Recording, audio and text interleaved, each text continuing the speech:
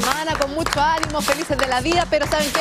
Párenme la música. Oh, a mí me hubiera ¿qué gustado comenzar ¿Qué este música programa risa con el mejor de los ánimos, pero voy a adelantarme los hechos. Como Ya, todos los días lunes tenemos nuestra sección indignado al final del programa, hoy día quiero partir con mi indignado, porque es segunda vez que esta persona hace exactamente lo mismo, que juega con la emoción. El árbitro del el partido la U ayer, tiempo, claro, muy bien. con- no, ese no. José, Eh, con todas nuestras ilusiones Carlos Matinal, de ¿eh? toda la región metropolitana. ¿Qué? Y me estoy refiriendo al señor Eduardo de la Iglesia.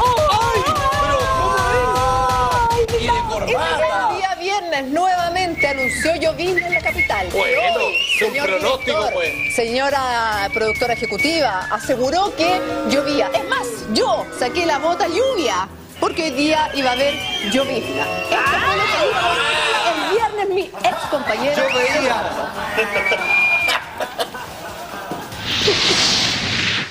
Y atención. Ah, mira. ¿Dónde viene la importancia? ¿Dónde radica la importancia del cambio del tiempo? Porque si bien hemos visto que las mañanas están más frescas, hacia el día lunes esperamos lloviznas en la capital. Vamos a amanecer con pavimento húmedo, precaución los conductores, precaución también los peatones, precaución las personas de tercera, tercera edad, eh, desplazan a pie. La máxima el día lunes estará en torno a los 19 grados. Festival del choque por alcance, como le dicen los carabineros. ¿ah? Efectivamente, amigo mío. Cuidado Lloviznas.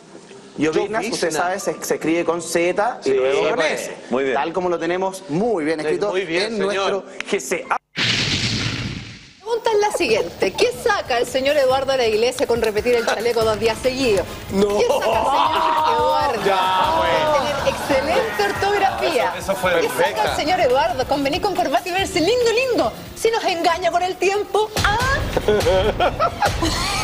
¿Qué pasó con la llovizna, papito? Pizarra, por favor, señor director. Pero hubo, bienvenido, parece, ¿o bienvenido no? Pablo Venegas, nuestro director que ¿Puedo está. a, nuestro animador o no? ¿No? Ale, sí. No. Mira, esto, esto, esto lo voy a dar vuelta.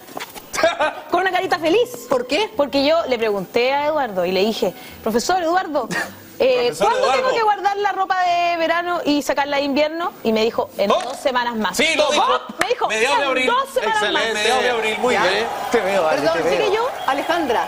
En esta campaña de desinformación del tiempo que tiene nuestro Eduardo, ¿Qué quiere palo? de desinformación del tiempo, digamos algo. Esa pregunta se le hiciste hoy día en la mañana. ¡No! Al Dos semanas más. Pon atención al programa. Hoy día en la mañana en parte, ¿qué le preguntaste? fue. Comprensión de lectura.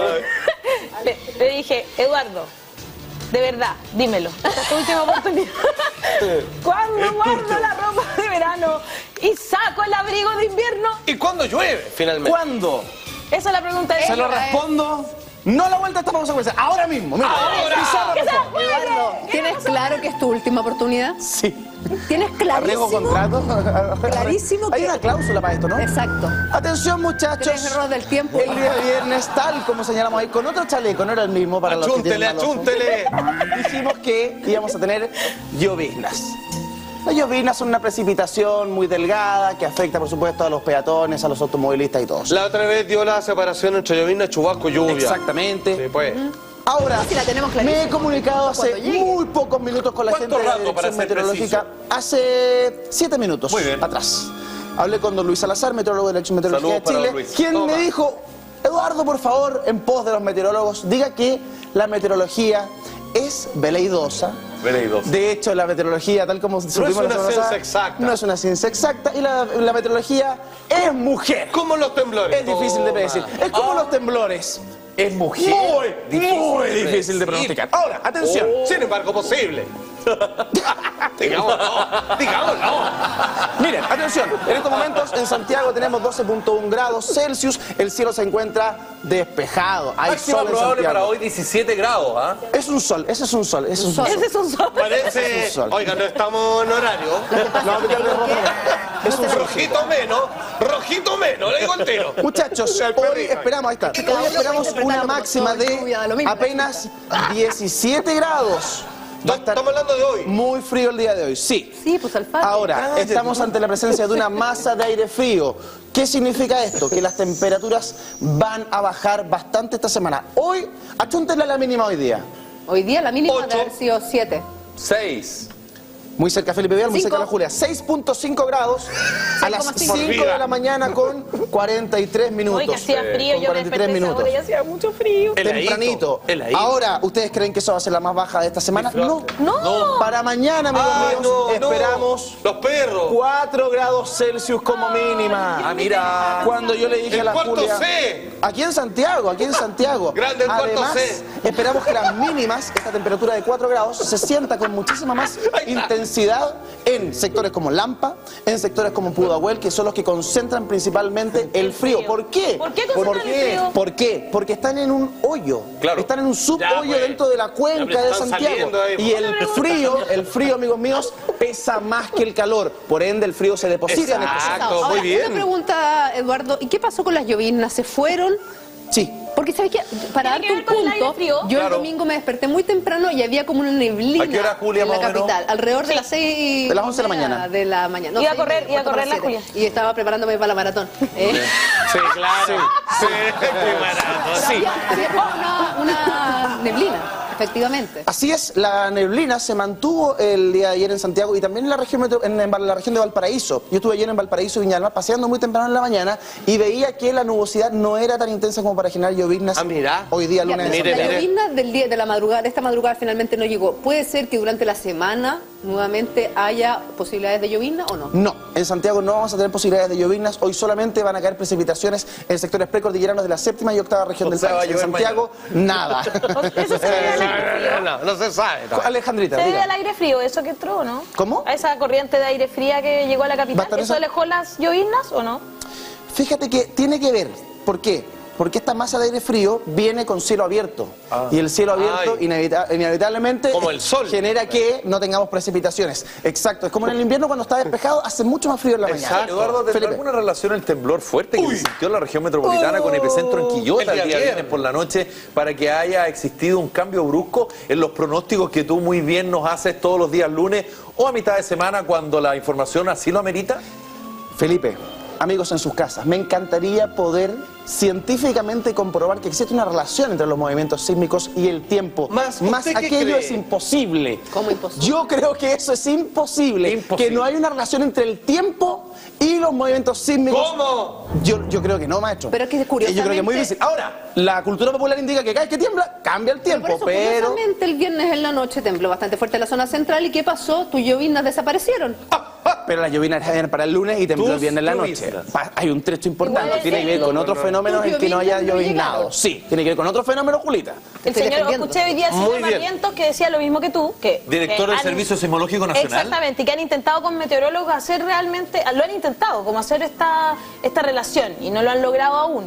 Sin embargo, decía que poco a poco se están utilizando más instrumentos para medir la atmósfera, no sé, las, Claro. las cosas como Ah. cosas Para intentar darle que yo no cacho que son del lado algo, que, científico. algo que hasta Ahora hace podría- seis meses o un imposible. año lo descartaban taxativamente. Perdóname, y creo que son algunos de los elementos que hace un par de años mencionábamos para colocar en la ecuación para saber cuándo temblaba. Correcto. Julita tiene una pregunta. Ah, Qué raro, es Julita. extraño eso.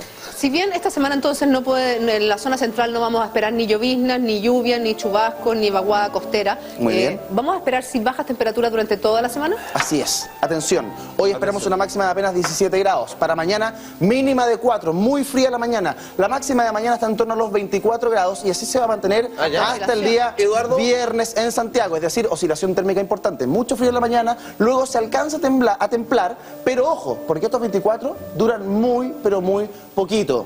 Baja rápidamente la temperatura y a eso de las 6 de la tarde, 7 de la tarde, se va a levantar viento fresco, va, te van a tener que abrigarse, por ende. Corrijo mi respuesta para Alejandra Valle, no saque la ropa de invierno en dos semanas más, sáquela hoy.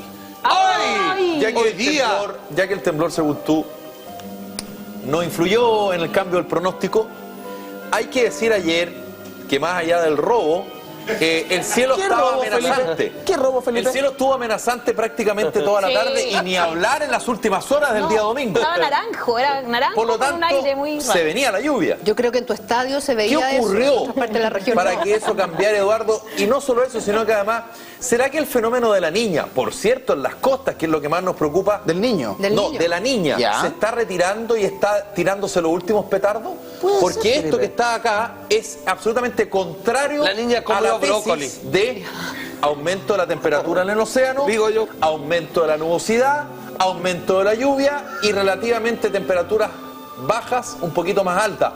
Valga lo contradictorio, ¿no? Mira, para volver a, a explicarlo como lo hicimos hace un tiempo. ¡Oh, ya! Pero sonó como ya te lo dije, pero no, no, volver no, a no. decir. No, para que la gente, para que la gente nos entienda. Este es Valparaíso, aquí está Santiago. El fenómeno de las lloviznas, de las lloviznas en Santiago o de la neblina en Santiago se Correcto. genera por alta humedad en esta zona, Correcto. que se traslada hacia Santiago. Correcto.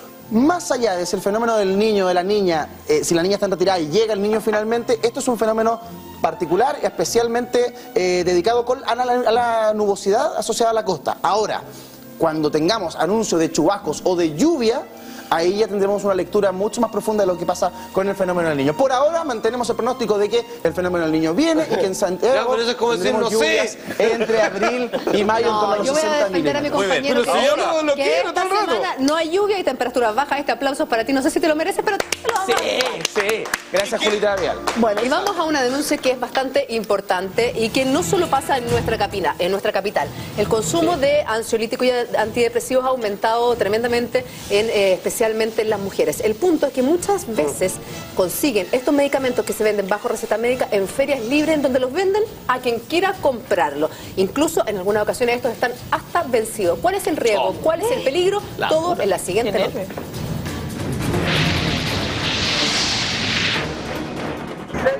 No trabajo yo ninguna clase de antibiótico. Tengo para resfriado, para descongestionar, pero más abajo hay un carrito que tiene todas esas cosas. De esta forma operan los vendedores ilegales de medicamentos en distintas ferias libres de la capital. Imágenes captadas por mañaneros que alertados por lo que pasaba, nos dirigimos a investigar lo que ocurría. Vienen 30. Me quedan 10 cajitas más, ¿eh? Traje 15. Venta indiscriminada de medicamentos de manera ilegal, que pueden poner en jaque su salud al adquirirlos de esta forma. ¿Cuánto está el clonazepam? El clonazepam está a 4.000 y 5.000 la diazepam que trae 20. Hace unos días, Policía de Investigaciones incautó cerca de 20.000 dosis de medicamentos que se comercializaban en distintas ferias libres de la región metropolitana. Pero lo que más preocupa es que la mayoría de estos productos necesitan recetas médicas para su venta, lo que hace aún más peligroso su consumo indiscriminado.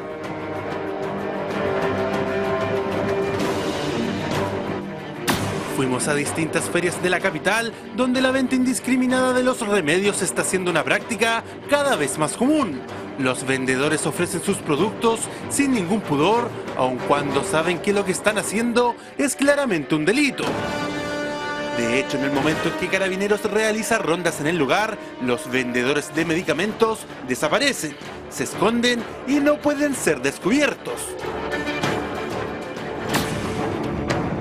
Los medicamentos necesitan ciertas condiciones para que no pierdan su efectividad, como temperaturas que no superen los 25 grados o incluso refrigeración. Y claramente estas no se podrán encontrar cuando el lugar de venta es la calle o son guardadas en una bolsa de basura. A mí me quiere antidepresivo. Fluoxetina ¿A cuánto está? a 500.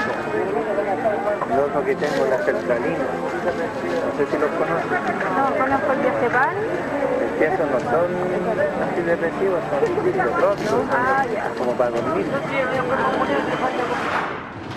Este también es un llamado a las personas que compran en estos lugares a tener cuidado con lo que se consume, ya que la automedicación le podría ocasionar graves problemas de salud, siendo finalmente peor el remedio que la enfermedad.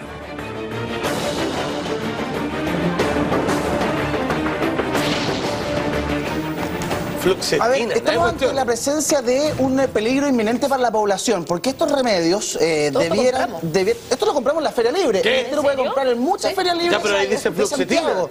Ojo, lo más vendido, alprazolam, clonazepam, lorazepam. Yo soy una persona, de- soy bastante enemigo, quiero decirlo con toda responsabilidad, de los remedios. A mí no me gusta tomar remedios cuando estoy resfriado.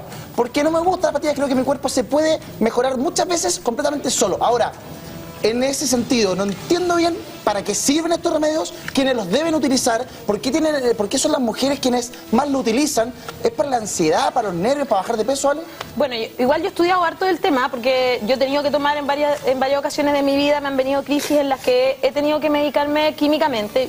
Eh, y yo no estoy en contra, sino que más bien creo que hay que ser ultra responsable. Es que es Primero, el clonazepam y todos esos derivados al plazolam, ¿Todo eso todo eso, claro, eso se toman cuando uno está con una crisis efectivamente, y ya sea para crisis de pánico, que, o sea, así de fuerte, o efectivamente con una crisis de estrés o de depresión muy alta. Y por lo tanto, recetado por un psiquiatra. Recetado por un psiquiatra, tú tienes que Por ir a la farmacia, ojo, exacto, tu receta tiene que decir la cantidad de tiempo por la cual la tienes que tomar. ¿Cuánto tiempo dura tu tratamiento? Ah, en el ¿Cuánto fondo, tiempo ¿cuántos? puede? Exacto, o sea, Claro. tiene que decir exacto Ale. cuánto rato vas a tomarlo y además de eso te dejan tu carné, la receta retenida, es es Ah, son súper es- fuertes como. Que, por ejemplo, las personas que tienen to- que tomar clorazepam durante un año, por ejemplo, se les da receta por tres meses. Y ellos solo pueden comprar cada tres meses y de ahí tienen que ir nuevamente al doctor o al psiquiatra que le les renueva, eh, después de, de chequearlo, por tres meses más la receta por clorazepam. O sea, no Pero- pueden per- tomar... perdón, la pregunta- Primero, la a mí pregunta al me revés. hace- a mí me hace dormir, por ejemplo. O sea, yo lo tomo cuando estoy en crisis y no puedo dormir y estoy todo el rato pensando en algo, en algo, en algo que te tiene mal. Ahí puedo tomar esto. Y si no, si no, no Perdón, la- el pero- psiquiatra trata de que no lo tome muy seguido. Entonces imagínate Es alguien que que, eso, se Alejandra. sobremedica con esto y anda manejando, por ponerte un ejemplo, Claro. así que no tiene idea que esto le va a provocar sueño y anda manejando y se queda dormido al volante. Pero, ¿qué es lo que provoca a la larga eh, el abuso de esto? Por ejemplo, si alguien dice, ay, tengo una penita, papá, adentro, una pastilla. Primero te puede hacer adicto. O sea, es, es claro que esto provoca adicción. Yo creo que más que tomarlo, perdona y, y- y corrígeme si me equivoco, es cuando uno lo deja de tomar. Porque una cosa es que te Sí, den claro. un tratamiento y uno lo tome, no tengo idea, durante tres semanas. Se acaba, va de manera progresiva, Paulatina. se termina el, el tratamiento, ok. Pero cuando tú te automedicas con este tipo de fármacos, me da la impresión, uno es el que eh, determina el plazo. Y por lo tanto Ah, uno claro. determina cuándo cortarlo. Claro. Y cuando lo cortas cuerpo golpe. siente la necesidad y de ahí donde se tomarlo. te genera un, un problema súper grave, ¿no? Un O desorden sea, yo creo que primero tomarlo, el, te- el periodo que lo estás tomando también es riesgoso. Porque efectivamente tú no sabes bien cuál va a ser. Todos los organismos son distintos. Sí. Entonces tu organismo puede reaccionar de una manera completamente distinta. Luego eh, está el tema de que efectivamente cuando lo dejas de tomar te provoca un- una cosa de abstinencia, e- Oye, este síndrome de abstinencia que puede ser más grave que la primera, A- el primer síntoma. o sea, claramente, mira, no, no, no estoy justificando la situación, pero puede ser que alguna de estas personas que ya le habían recetado uno de estos remedios lo haga simplemente para bypasear el precio de la consulta y el remedio en sí, porque decían fluoxetina a 500 500 pesos. Eso, ¿Cuánto vale? Es que la fluoxetina, yo no tomo hace mucho tiempo fluoxetina, pero ahora, o sea, si tú vas Pero con más una de cinco, receta, va- es- súper barato. No, dentro de la. Y el clonazepam también. 2000, 1000, hay, hay, hay, pero más que el, el- pero más que el, el remedio, puede ser que lo que la gente esté paliando es el tema también de ir al psiquiatra. O Claro, sea, es carísimo. La consulta de un 80 psiquiatra mil. vale entre 40 y 80 mil pesos. 80 Yo conozco No, y psiquiatras que de cobran. 90. ¿Por qué? No, y yo conozco No, psiquiatras que 90 cobran más de 100 mil pesos por consulta. ¿Y, la, salud, la salud mental ¿Te se reembolsa en Chile? Hay un Hasta tres, hasta, tres año. en el año. Y todos- y todos por saben que una persona que en el año necesita- es nada. A mí me sorprende que esto no es nuevo, o sea, y no es nuevo desde hace un año, sino que hace mucho rato, y pareciera que, pareciera que nuestras autoridades eh, les gustara.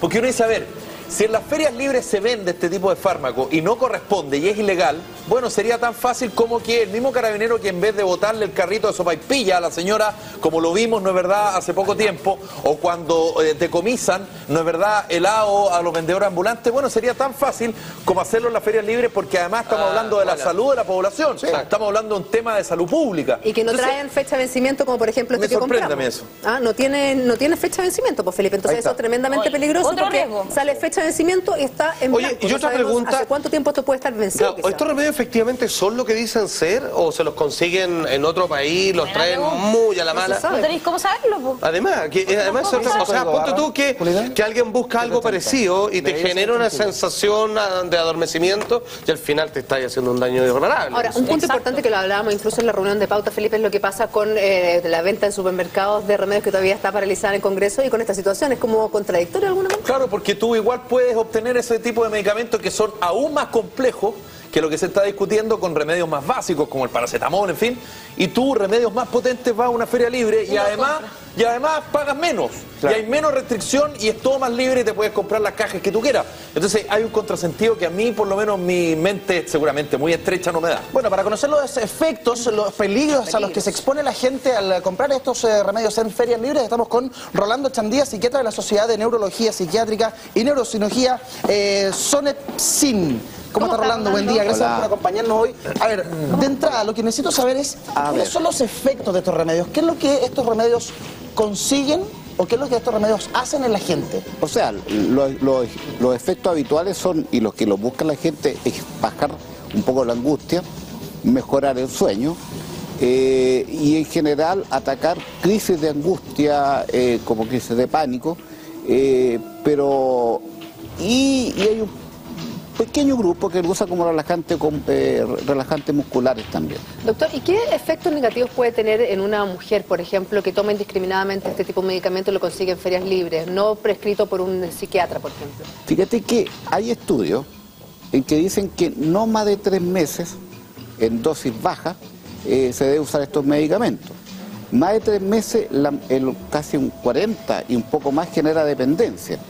O sea, Eh, no duermes si no te tomas la pastilla. Eso es dependencia. O sea, la persona requiere la sustancia y, y cada vez en dosis más crecientes para los mismos efectos y, y uno llega, y este año más que otros años, a ver gente que usa hasta una caja diaria. Una caja diaria. Esto es increíble. Y yo atendí hace poco una persona ejecutiva que se tomaba 10 el plazolán para dormir, 5 cuando despertaba como a las 4 de la mañana y a veces al mediodía, ¿Cuáles son los riesgos al mediodía tomaba un poquito más por la necesidad, Doctor, porque pero- se produce un efecto rebote, eh, en el sentido de que cuando eh, se acaba el efecto del medicamento, se produce lo contrario. La persona está más angustiada. Y si la persona está angustiada está trabajando, tiene que tomar. Entonces, ¿cómo anda la persona? Deteriora su memoria, aplasta la memoria, eh, se descoordina y lo pierde capacidad de atención, pierde capacidad de concentración. Además que me imagino que esa cantidad de medicamentos debe producir algo en el estómago. en el. Absolutamente. Yo he visto modelos ah, profesionales que están usando eh, hasta una caja. eh, ¿Modelos? Y tres y cuatro cajas de inductores del sueño. ¿Y no qué? lo hacen, y no lo hacen eh, porque se le ocurrió, sino porque en algún momento algún médico le- o algún amigo ¿Ya? le prescribió un medicamento para dormir, pero no le avisó eh, del tiempo. Y ahí hay una culpa médica. Yo creo que los médicos hacemos iatrogenia. Cuando no le decimos a la gente la cantidad ni el tiempo y no lo controlamos. Y le decimos a la secretaria, y yo aquí soy súper responsable, eh, a la secretaria no denle nomás este medicamento. Y pueden pasar personas años, Tomándolo años. pensando que necesitan. Y esto que le estoy diciendo también es motivo de un reportaje. Y, y además, O sea, hay- Per- a- perdona- ustedes están echando la, a la- la culpa a la esfera libre. Le, eh, Sí, le pero estamos echando la culpa culpa también médica. a los amigos que dan recetas y también a las farmacias de barrio que venden Sí, con un verdad. costo más alto. Claro. Pero estamos dejando de lado a aquellos médicos que prescriben este fármaco eh, sin las dosis adecuadas y sin avisarle los riesgos y sin controlar. Eso Claro. se llama iatrogenia. Ya, eso también es tremendamente culpable, pero si queremos seguir buscando culpables, incluso como lo hablábamos con Alejandra, podemos encontrar a los altos precios de los psiquiatras, que hay, algunos llegan a los 100 mil pesos la consulta y que claramente te receta un medicamento por tres meses y uno no sé si se- a los tres meses está dispuesto O la- o tiene los 100 mil pesos Claro, normalmente para yo- o la poca o la poca o, la po- o el poco valor que yo siento que a veces le damos a la salud mental No existe. porque también o sea que de verdad eh, que dentro del sistema de salud uno puede enfermar uno puede ir solamente tres veces al psiquiatra usted me podrá entender pero cuando uno está en un periodo de crisis o con algo realmente diagnosticado con tres veces no es nada hecho, ir al psiquiatra ¿o ¿Te acuerdas cuando el año pasado se hizo un mapa sobre el mayor porcentaje de enfermedades de los chilenos según ciertos sectores, norte, centro? Y el sector centro, sobre todo la capital, la región metropolitana, la mayor cantidad de enfermedades están asociadas a disfunciones mentales. Bueno, se supone que para el 2020 la OMS dice que la principal causa de enfermedad va a ser la salud mental y los trastornos ansiosos y los trastornos depresivos. Y esto no es en Chile. sí lo leí también yo Y ojo, y con el terremoto, el otro terremoto y tsunami que hay es el aumento de la automedicación. Y ustedes por ahí lo mencionaron, el 90% de los chilenos se automedicamentan. Y entre las 10 principales automedicaciones, también en el tercero, no, no quiero ser exacto, es los ansiolíticos. Increíble. Pero ojo con los terremotos y, con no los tsunamis, porque el otro terremoto que vino después del 2010 fue la automedicación. O sea, aquí, por ejemplo, tengo una persona por Twitter que nos escribe que a mí me pareció muy curioso. Eh, Car- Carolina dice, yo compro diazepam en la feria por crisis de pánico. Pesaba 68 kilos, ahora 45. Uy, Solo puedo tragar y comer cuando tomo diazepam y por eso lo compro. Yo creo que hay que ir a la causa de, de base. Yo creo que no hay que tratar la, la punta del iceberg. Es raro eso, no sé si me entiende. Yo creo que ahí está... eh, a mí me da un poco lata, pero debo decirlo. Dígalo. Que los médicos y muchos psiquiatras atendemos el síntoma y medicamentamos. Y nos No olvidamos, la base. y, y nos olvidamos que, que la palabra eh, clínico viene del griego, que significa inclinar, escuchar y mucho más un psiquiatra.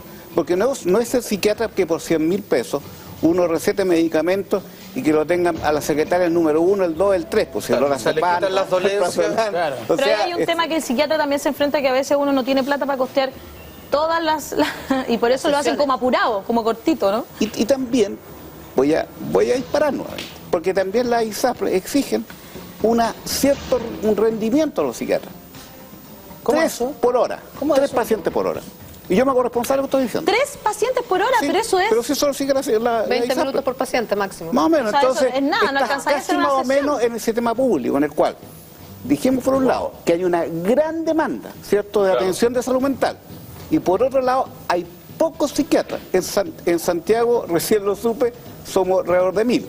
Y tal vez Ah. en Chile. perdón, yo eso que acabo de decir, ¿es Acabo una de decir, es un sugerencia dato. que se hace, que No, se les dice es una exigencia. es una cosa económica, acuérdate que, que la salud es un muy Oferta buen y demanda. Eh, lo- alguien lo dijo por ahí, es un excelente negocio. y, y ustedes, ¿qué es lo que han visto? Que han aumentado las farmacias, han aumentado la cantidad de clínicas privadas, pero no tanto en el nivel, en el nivel, en el nivel público, también uno tiene que decir lo mismo. En el nivel público a uno le exigen un rendimiento. También. Oh.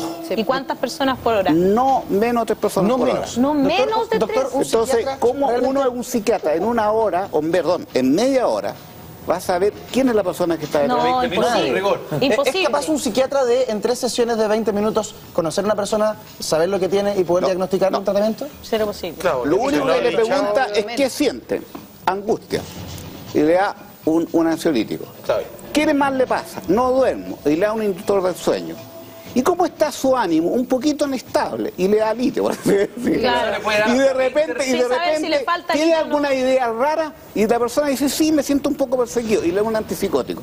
Y se va con cuatro medicamentos, y a veces, y yo no estoy exagerando, Ay, o con cinco, medic- cinco medicamentos, y está feliz, feliz en la farmacia, está infeliz la persona, le va a costar como 120 mil pesos todos esos medicamentos. Ah, y le dice, y su ánimo un poquito depresivo, y lo ven antidepresivo. y no lo están sanando de nada. Le están cortando Ah, las Aquí dolencias. hay nomás. una falta también de regulación de parte de los médicos, nosotros mismos. Eso debo decirlo con mucha responsabilidad. Doctor, ¿quiénes son más proclives a eh, automedicarse específicamente con ansiolíticos o con antidepresivos, las mujeres o Ah, los hombres? El año 2012, el SENDA, actual, eh, antiguo CONACE, eh, mostró en un estudio con la automedicación que a mí había aproximadamente 139 mil mujeres que se automedicamentaban y 57 mil hombres. Y que lo que más había crecido con respecto al 2010 era la cantidad de varones que se automedicamentaban. Antes Ah, uno más decía, que las mujeres. Claro, eh, no tanto, pero antes la mujeres, relación era de 4 a 1. Claro. Ah, Pero antes las mujeres eran las histéricas que las que tomaban las pastillas. Ahora apareció eh, lo que dijo el doctor Enrique Rojas. Pero las mujeres el no han. Simón, ustedes lo conocen. no. ¿cuál es el síndrome Simón? Ah, ¿No explica? Las personas que son solteras, que son inmaduros desde el punto de vista afectivo, eh, materialista, Ah. obsesivo en el trabajo y narcisista. O sea, y ese un grupo, hombre, el un hombre síndrome Simón, de Enrique Rojas, Enrique Rojas lo dijo, claramente está entre los 25 y los 40 años y son aquellas personas que, que no saben lidiar con la vida. No sé ¿Podemos si me repetir el entienden. perfil, doctor, para Perfecto. para que quieren interesante, hablar? Está súper interesante eso. eh, solteros, inmaduros lo afectivo, Perfecto. materialistas, Ok. obsesivos y narcisista. O sea, un éxito que de llega temprano y que no típico- saben... el típico Simón, a los Simón 42. es el que más aumentó en el consumo de tranquilizantes y el que casi nos está acercando a las mujeres. ¿Y por qué? Porque se autoexige Porque son mucho personas y es vacías. incapaz de son eh, personas vacías, son personas vacías. No tienen familia. no tienen y, tienen- lidiar y son con lo que los saben trabajar nomás. Claro. Y que se quedan a no solamente a sí mismos. Y se a desgastan. sí mismos. Son Doctor. personas en búsqueda del éxito. Y obviamente si, si no me Simón va a estar con la cocaína, va a estar con el alcohol, va a estar Va a con, en- probablemente con el modafinilo, O sea, son víctimas- con el modafinilo o menti. ¿Y es solo para la otro- gente soltera o, o puede darse No, también en no, pareja sí, donde que- el trabajo lo separa? Yo, yo creo que el doctor Enrique Rojas, un psiquiatra eh, muy bueno que nos ha visitado varias veces, eh, lo dijo como una forma para recordarnos, ¿cierto? Un, un hemotécnico. Claro. Sí. Pero es, es muy probable que haya mujeres Simona y Claro. también Eso- es son muy víctimas, probable en el fondo son víctimas del sistema del sistema económico en el que vivimos Exacto, también y, y- y que finalmente lo único que, que busca es que nosotros somos exitistas, somos exitistas. Lo que yo quiero dejar claro es que ya ese perfil de la mujer, como ustedes me dijeron, de casa, que iba a la feria libre, existe. Existe, pero ya Pero está ahí. también está existiendo este otro grupo de 25 a 40 años de hombres que está casi acercando la cifra de automedicación. 139 mil a 57 mil es prácticamente 60-40%. Ahora, ahora, ¿cuál es el peligro de... de- No, dale. No, dale, dale. No, no, no, por favor. ¿Cuál es el peligro? Ese perfil de 25 a 40 de hombre no será también que también ha aumentado el perfil de 25 a 40 de mujer y por lo tanto ese grupo de hombres busca igualarse con ese grupo similar de mujeres? No, yo creo que los hombres generalmente lo usan, lo usan más por competitivi- competitividad. Entre ellos. Eh, claro, y la mujer que sigue consumiendo un poco por aliviar un poco esa angustia del diario vivir eh, que, que le genera los múltiples roles y de Pero, repente doctor. eh, el ser dueña casa, no sé si Ah, me entiende. Sí, pero hay algo que no entiendo. ¿En qué momento la persona pasa de que, por ejemplo, este hombre con el síndrome de ¿De Simón... uso, abuso, dependencia? N- No, que tiene que ver con que él puede costearse un psiquiatra y tener por la vía legítima su medicamento y decir, ¿sabéis qué? No voy a ir más y yo mismo me voy a comprar las cantidades que yo quiera. ¿En qué momento, siendo que puede solventarlo económicamente, pasar de una cosa a otra? Yo creo que el chileno es pillo. Y, y busca y busca los efectos, ¿cierto? Rápido y ve que esa pastilla es milagrosa. Y se salta todo como el proceso. Prozac, la, la- y la fluoxetina, y de repente se salta. Y, y de repente sabe que él no va a ir al psiquiatra a pedirle tres cajas, no sé si me entiende, de Rabotil o, o de cualquier clonazepam. Sí, claro. Porque así que Eh, no te lo van a dar. Claro, y no se lo van a dar. Pero la Feria Libre yo compra diría todo el- que la parece siempre el 90% de, de nuestro gremio eh, son personas que, que actúan con ética. Pero siempre en todo grupo de personas hay de todos. No sé si me entienden. ¿En qué momento se pasa del uso al abuso de estos medicamentos? Bueno, y yo creo que la persona cuando ya empieza a preocuparse de obtener la sustancia, cuando ya requiere mayor cantidad de lo habitual, cuando ya empieza a buscar este un detalle, amigos o médicos, amigos también, que le den la pastilla Pero tres meses es lo habitual para tomar uno de estos y a veces cuatro semanas. y Cuatro Cuatro, semanas. semanas. Y el cuerpo se acostumbra a cualquier cosa. Y fíjense que le voy a decir algo que, que, no, que no es muy claro ¿Mm? y que apareció hace un año. Que las personas mayores de 65 años Ya. que usan estas pastillas ansiolíticos tienen mucho mayor riesgo, 50% más, ¿Ya? de generar una demencia o un Alzheimer. No. Y los, los hombres que tanto le están gustando el síndrome de Simon, también de disfunción eréctil. Oh, mira, Pero se quita con Hoy día, hoy día el hombre funciona con química, no sé Sí. si me entienden. Arroba mamá moderna nos dice, mi hermano toma clonazepam porque dice que tomándolo no existen los problemas. Anda siempre espastillado y tiene 25 años. Me preocupa mucho, cuando no los toma anda súper agresivo. Está con psiquiatra, pero no sé, siento que no le hacen bien. Yo creo que sí. Pero como que Ese es un círculo síntoma, vicioso. por ejemplo. Claro, porque ahí tú tienes el efecto que no les comentaba, que, que se quita la angustia, pero después baja el fármaco y se produce lo contrario, ¿cierto? La descompensación. La descompensación. Y, y se sabe que muchas de las agresoras y de los agresores, ¿cierto? También usan estas pastillas de otra forma inhalada para cometer o, o- o le dan a sus víctimas. ¿Inhalada? Sí, por la famosa chicota que se usaba en la cárcel. ¿ah? Cuando iban a ser golpeados, eh, las personas, lo- los presos, eso de Chile, ¿ah? Claro, claro, los Eh, lo molían y lo inhalaban. O sea, depende de la vía de uso de- del efecto, pero indudablemente que hay que preguntarse cuando una persona depende, ¿qué es lo que hay de fondo? ¿Un trastorno depresivo? ¿Un trastorno de la personalidad? un trastorno de ansiedad y eso es lo que Doctor, a mí me llama la atención porque vivimos en esta sociedad que es tan, como decíamos, exitista, ¿no es cierto? Le damos, le damos como valor a cierta, a cier- al, no sé, al éxito económico, por ejemplo, pero bien poco al éxito de que alguien que terminó la, La universidad, calidad de vida, por ejemplo, la calidad de Intelectual vida. emocional, no sé. Exacto. Entonces, como que siento que le damos tan poco valor a la salud mental, justamente. No nos dedicamos, por ejemplo, ya decimos, los niños están obesos. Entonces vamos a hacerlos comer solo fruta y verdura y vamos a menos. Pero no vamos al fondo del cuestión. ¿Por qué los niños están ansiosos? ¿Por qué están comiendo mucha chatarra? Tiene que haber una razón ahí, ¿no? Algo más de fondo que... Yo- yo creo ¿Por qué no lo que- estudiamos? ¿Por qué no nos Yo dedicamos? creo que, que eh, llegamos a tal absurdo de que este año, y corríjame Ministerio de Salud, eh, que, que había un aumento de suicidio en los últimos cinco años, ¿se acuerdan ustedes en Calama? Hay solo 500 millones para todo Chile para el suicidio. ¿ah? Hay una cantidad... En un prevención. Sí, y hay un poquito más para depresión siendo la principal el problema. Y Yo creo que, que- que los chilenos estamos cada vez peor en salud mental y estoy hablando de datos comparables, ¿cierto? De los años 80, 10% de, de la gente afectada a salud mental y hoy día no, no menos un 30%. Yo podría decirle que el 30% de los chilenos está con algún trastorno de su salud mental. ¿Cuánto? 30%. es Doctor, muchísimo. ¿somos, somos depresivos los chilenos o estamos mal diagnosticados? Y en el caso de los niños, No, ¿todos yo- ellos tienen yo- yo- yo creo que de repente- mal diagnóstico ahí? Yo creo que, yo creo que nuevamente no todas las penas son depresiones. Exacto. Ya.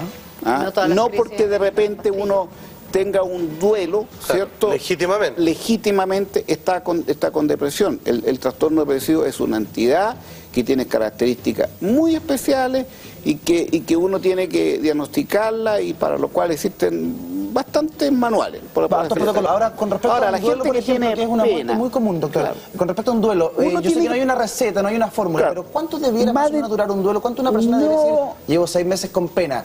Ah, estoy con depresión. No, estoy esto es Uno dice duelo. normal y duelo patológico. Y en general un duelo patológico cuando pasan más de tres meses y la persona sigue sumida en la misma pena y no hace nada. Y no hace nada. Yo, yo he visto gente que se ha quedado en la casa eh, con todo lo... como un altar de, de la persona Claro. que murió, con toda la ropa y con la ánfora. Su vida no Rodeado con los resguardos. Su vida no, Y- y no sigue. Y su vida no transcurre. Claro, claro. Y con una ánfora. O sea, ¿qué está haciendo ella? ¿Hay algún tipo, hay algún, algún, tenemos todos grandes, grandes grupos, gente que va al psiquiatra y que le pide una receta para comprarse la pastilla y chao. Hay gente que va a ferias libres, hombres y mujeres, y también se, se automedican porque una amiga le dijo que este remedio era bueno para tal cosa. Claro. ¿Qué grupo de la población definitivamente no puede tomar ninguno de estos remedios? ¿Existe ese grupo? Sí. ¿Quiénes? Yo diría que las personas mayores de 65 años eh, y que se hace lo contrario, eh, habitualmente se le dan estas pastillas y tienen mucho, mucho, mucho más riesgo de fractura y de caída y de accidente. Y eso es verdad, y sabéis que Y generalmente... tiene mucho más posibilidad de demencia, este es un estudio reciente, hace un año atrás, 50% más de acelerar una 50%. demencia. Es harto, ¿ah? Sí, es muchísimo. Es el dato más interesante de estos últimos dos años con respecto a las Además que, doctor, tal como usted dice, lamentablemente O sea, en esta sociedad que se le está apurar un. Alzheimer, no una eso. mayor de 65 Doctor, años ¿Estamos matando a la gente? Exacto, pero doctor, ¿hay- ¿existe y una obviamente escalada? los, los cabros chicos. Doctor, ¿existe una escalada en esto? Alguien que parta con pastilla para el dolor de cabeza y de repente viene y se salta un super pastilla para el dolor de cabeza, pero con receta. Y que te quita así y después pasa ahí otra cosa y, y va en una escalada hacia arriba. Yo creo que hay una escalada para las drogas, hay una escalada para la droga ilegal. Estoy pensando eh, eh, al- No, tabaco, alcohol, marihuana, cocaína, es una escalada. Pero también hay escalada en, en pastillas. Y, y en pastillas primero homeopáticas, después algunas más o menos, y después ya empieza con, con, ansio- con- tú muy bien lo dijiste, analgésicos. En Chile se abusa de analgésicos. De hecho, doctor, esa era la pregunta que le quería Y hacer. se porque- abusa de antijaquecoso. Y no sé si ustedes saben, la dueña de casa, que también se producen eh, dependencia y se produce tolerancia. Y después se producen cefaleas de rebote y terminan en clínica. Como, Famoso, claro, como, el, Chino. Río. No O sea, yo no, yo no he dicho nada, yo no he dicho nada. No, y eso, eso lamentablemente en Yo Chile no ha he dicho nada. doctor. Eh, el, el- el uso de, de- de la gente jaquecosa en Chile ha aumentado de una manera increíble. Yo no estoy diciendo que eso no sea una entidad real, Claro. pero estoy diciendo que, que no todos los migranoles, por así decirlo, son necesarios para alguna jaqueca. Hay otros fármacos más efectivos. Mira, Entonces, yo creo que la gente está usando lo que antes, la, la- la socie- eh, somos un país pastillero, digamos las cosas como Nos gusta. Nos gusta Eh, nos puede faltar el pan nuestro cada día, pero no el otro pan, el alprazolam, el diazepam Doctor, y el clonazepam. respecto a eso, Seamos claros. ¿cómo estamos respecto a somos países robots, y vecinos? somos robots químicos, dirían los síndromes Simon, ¿cierto? Doctor, ¿y cómo estamos en relación a nuestros países vecinos, Argentina, Perú, Eh, la cantidad de farmacias que hay, la cantidad de autorrecetas que No la gente... estamos tan mal, estamos en un cuarto lugar, pero yo creo que vamos avanzando en el 2012. Yo creo que luego este, vamos a ir en mejores lugares. Ya, perfecto. La- la- ¿Hay alguna jaqueca, el tipo de jaqueca que se pueda tratar sin eh, pastillas? sin Yo creo que remedio? ¿Sin químicos? Muchas. Yo creo que la gente ha dejado de un lado eh, lo que son sistemas de relajación natural, lo que son sistemas de, de yoga, lo que son masajes, y, y lo que es el buen Buenísimo. sentido. Si una persona tiene insomnio, no vea televisión en la noche, no esté hasta tarde con el computador, No coma tanto no tome a la tantas bebidas cola, no tome tanto café. ¿Qué Ni toma? haga otras actividades. No, no sé la otra actividad está en, está en discusión. Ah. El yes, Se yes puede, algo lo está se en discusión. Se puede. Eso yo creo que hace bien. Eso, claro, eso está medio en discusión, ¿ah? pero el yes, yes. Pero en general hay un sentido común y la gente se olvida de la relajación como método y el yoga como método y que realmente funciona Sí. y, y lo- Eso- y por así decir los baños Eso turcos. tiene que ver con la tolerancia y con el corto plazo, porque lo que usted acaba de decir es lo mismo que te va a decir el doctor cuando es, oye, sabes que no puedo dormir. Usted come chocolate en la noche, sí, suprímalo. Usted fuma en la noche, sí, suprímalo. Entonces al final es lo mismo. Uno como que necesita que alguien experto en la materia te diga lo que tú sabes que tienes que hacer. Pareciera que hay un juego de corto plazo. ¿Cómo soluciono esto rápido? Tomando una pastilla. Pero en el mediano plazo voy pero de a mira- poquito dejando la tele, dejando Ya, el computador. ponte, en el que ahí lugar, está la... ponte en el lugar del médico de ISAPRE. Voy a hacerlo así. Aunque, aunque yo quiero que los ISAPRE digan que yo estoy diciendo algo incorrecto. Y que le dan 30 minutos al psiquiatra para atender. Y que si no tiene cierta cantidad, tiene riesgo de que lo despida. ¿Tú crees que en 30 minutos ya conocer a una persona? No, No. no, es imposible. ¿Crees tú? Los mete todos en canastos nomás. Yo, síntomas, Hay que tener un formulario, no sé si me entiendes. Claro. Tú no atiendes a la persona, ni entiendes lo que le pasa. Medicamento. O sea, yo que, que O cuando sea, voy la psiquiatría se ha medicalizado. Cuando voy al psiquiatra me demoro una hora, una hora Eso diez. es, se ha medicalizado. Por, por, Por por- sesión. por sesión. Claro. Y no es eh, una vez al mes, cuando tengo periodo O de sea, crisis voy más yo- seguido, pero Claro. Yo, yo sé que hay una iatrogenia en aquellos psiquiatras que dan medicamentos y que no y que, y que no dan, no lo dan y no le dicen los efectos adversos eh, y no le pregunta si es chofer. Y si es chofer, ustedes saben, No puede tomar usted sabe clonazepam. que el riesgo de accidentabilidad, Hospital del Trabajador, estudio clásico del año 1998, un tercio de los accidentados laborales se asociaba con alcohol y con tranquilizantes. un De los que tercio. llegaron en el 98 al Hospital del Trabajador. alcohol y tranquilizante. Sí. Previo al Transantiago, Claro, imagínate entonces, después. claro. entonces un psiquiatra que ni siquiera le pregunta, ¿usted es piloto? No sé si me entiende. Claro. Sí, claro. ¿Usted está tomando otras pastillas? Tratemos, tratemos de ayudar a la gente. Vamos a algunos consejos prácticos. Por ejemplo, para el insomnio, la gente que no logra conciliar el sueño de forma normal. Lo que yo le acabo de mencionar, eh, hay medidas sumamente eh, lógicas. No vea tele hasta tarde. Saque la tele de la pieza, por ejemplo. Saque el computador o, o internet, ¿cierto? Eh, no tome bebidas cola, como dice. ¿ah? No tome café. ¿ah?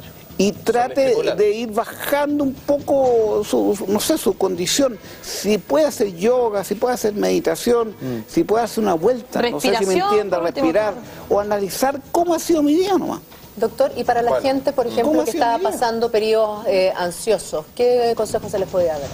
Yo creo que aquí, aquí aunque, aunque resulte que yo esté diciendo lo contrario, no estoy diciendo lo contrario, yo creo que los ansiolíticos son buenos para las crisis de pánico, son muy buenos para los trastornos ansiosos agudos y son bastante buenos por un tiempo corto, no más de un mes, cuatro o seis semanas, para los trastornos del sueño. Pero, pero si, eso se mantiene como indicación, es muy malo porque genera a- dependencia, aplastamiento de la memoria y riesgo de accidente a lo menos. Y, y voy a insistir en algo a los hombres, ¿no es cierto? A los 25, 40, Disfunción. eréctil y a las personas mayores de Para que se 65 asusten, para años. que se asusten. Nada más que para hacer salud mental aquí, es mayor de 65 años, deterioro o demencia Qué en un increíble. 50%. Te juro que estoy Rolando, le quiero hacer una pregunta también en relación a la Feria Eh, el estudio más importante que, que hemos visto. Rolando, le quería hacer una años. Lo tienen bien pregunta. calladito, eh, con- Es obvio, pues hay que callarlo. Quería hacer una pregunta con relación a las ferias libres y al hecho de que los medicamentos en muchas oportunidades están vencidos. ¿Eso presenta un peligro mayor para O la sea, no solamente, primero que inocuo, o que necesitan mucha más cantidad para lograr los mismos efectos. Y indudablemente que la, que la persona que está en una feria libre no sabe ni lo que vende, no sabe si, es de vía Si es que- media corta, de vía media larga, Si es que realmente y si es que realmente la el medicamento. está dentro. Y, y lo otro que yo no entiendo mucho es cómo se aplica la, la ley, porque se supone que si una persona lo encuentran con pastillas y no tiene receta, eh, hay eh, pena de 1 a 10 UTM. Y si hay farmacias y si hay médicos que están dando así, al, al voleo, Se ganan un viaje. 15 años. ¿Pero hay alguna persona condenada por No, eso? ninguno. Pero a que lo Eso es lo- están eso es lo que se. No, ninguno, ninguno, ninguno. Entonces, 15 ¿para- años. No, es que estoy hablando, estoy hablando de como la ley de alcoholes muchas veces, años atrás. Porque yo decía lo de las ferias No libres pueden sería haber súper injusto que al, al eh, feriante que vende... clandestino o, o venta de alcohol al lado de, de los colegios, me acuerdo. ¿Alguna vez se cumplió? No, ni, ni, ni de venta de alcohol ni de cigarro. Claro, Nunca. la verdad. Pero en estricto sentido la ley operaría y, y del año 1995 los medicamentos, eh, lo que estamos hablando, los ansiolíticos, están con prescripción médica o con receta retenida.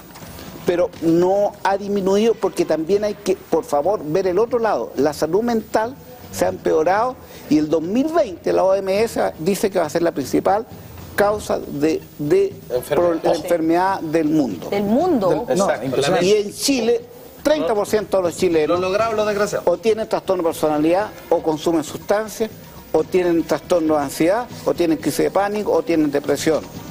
O, o tú le dices a la gente, ¿cómo te sientes con tu vida? Pregúntale a la gente, a 10 personas, El clásico, ¿cómo estáis? ¿cómo estás? El clásico como te. Pero, bueno, doctor, estamos Yo justamente creo en el medio que- del cerebro y los especialistas en, trastornos como la psicosis, el alcoholismo y tantos otros están realizando un montón de charlas en colegios municipales, en consultorios, en eh, colegios subvencionados particulares. Entonces, también la invitación es para que la gente se acerque, averigüe, porque hay mucha información disponible que la gente realmente no maneja y se quedan básicamente con el consejo de la amiga, el consejo del vecino, que yo supe que tiene algo. ¿Hay alguna actividad que usted quiera destacar? Yo quiero destacar un poco que la gente se informe. Yo diría que el Google es bastante bueno hoy día, porque no solamente el lado malo, ¿cierto? Sino el lado bueno en el cual hay, hay, hay sitios de, de psiquiatría, ¿cierto? Serios, eh, eh, en el cual uno puede encontrar eh, información. Yo creo que antes de consumir cualquier payasada, infórmese. ¿Ah? Gracias, doctor Tendía, por O sea, acompañarnos eso esta es un mañana. poco mi... Notable. Un millón de gracias. Gracias. Espero que ya no haya sido... Gracias, No, sí, clarísimo, clarísimo.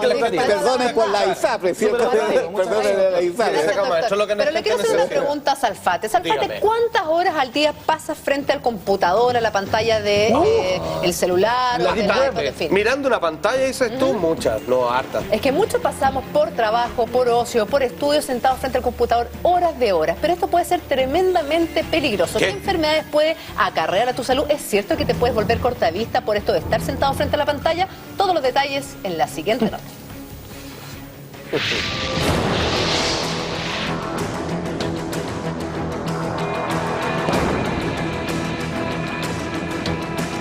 Muchos pasamos horas sentados frente al computador por trabajo, estudios o simplemente ocio. Pero la verdad es que no todos conocemos lo peligroso que puede ser esto. ¿Puedo ir perdiendo la visión? ¿Son los mismos efectos en niños que adultos? ¿Qué enfermedades me puede acarrear? Todas estas interrogantes se las responderemos en la siguiente nota. Presta atención.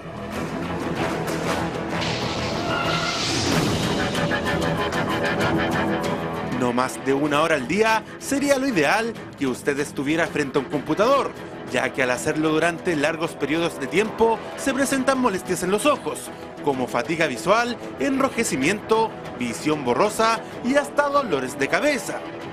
Mira, yo te diría que más de una hora de trabajo continuo ya produce alguna molestia. ¿eh? Si uno está más de una hora pegado frente a una pantalla de computador, uno ya siente molestia en los ojos. Y ya ahí uno debería ya parar y preocuparse y ojalá lubricarse el ojo.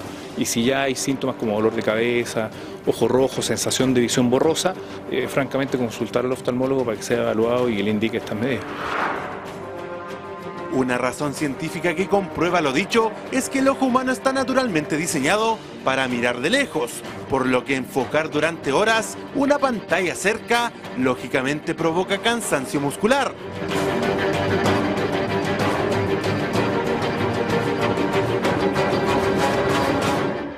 ¿Y usted ha sentido molestias al estar demasiado tiempo frente al computador? ¿Cuántas horas lo usa al día? Tres, cuatro horas, a veces un día entero. Entonces, a veces, no sé, hago otra, hago otra cosa para distraerme y para no estar pegado todo el rato. ¿Y se sienten, por ejemplo, los efectos de estar mucho en el computador? Sí, se cansan los ojos y no se puede hacer mucho. trabajando en el Excel y de repente también comentando en las redes sociales. Eh, Sabes que lo, lo vendí porque me dejaba enfermo. Empecé a sentir con los ojos irritados y toda la onda, ya mejor deshacerse de esas cuestiones porque uno al final de la larga te hacen mal. Cuando uno es cabro puede estar todo el día, con la mía no. Tengo que ir, tengo que ir al oculista. Pero eso no es todo, sino que también se produce el denominado síndrome del ojo seco, el que incluso puede ser peor si usted trabaja en un lugar con aire acondicionado.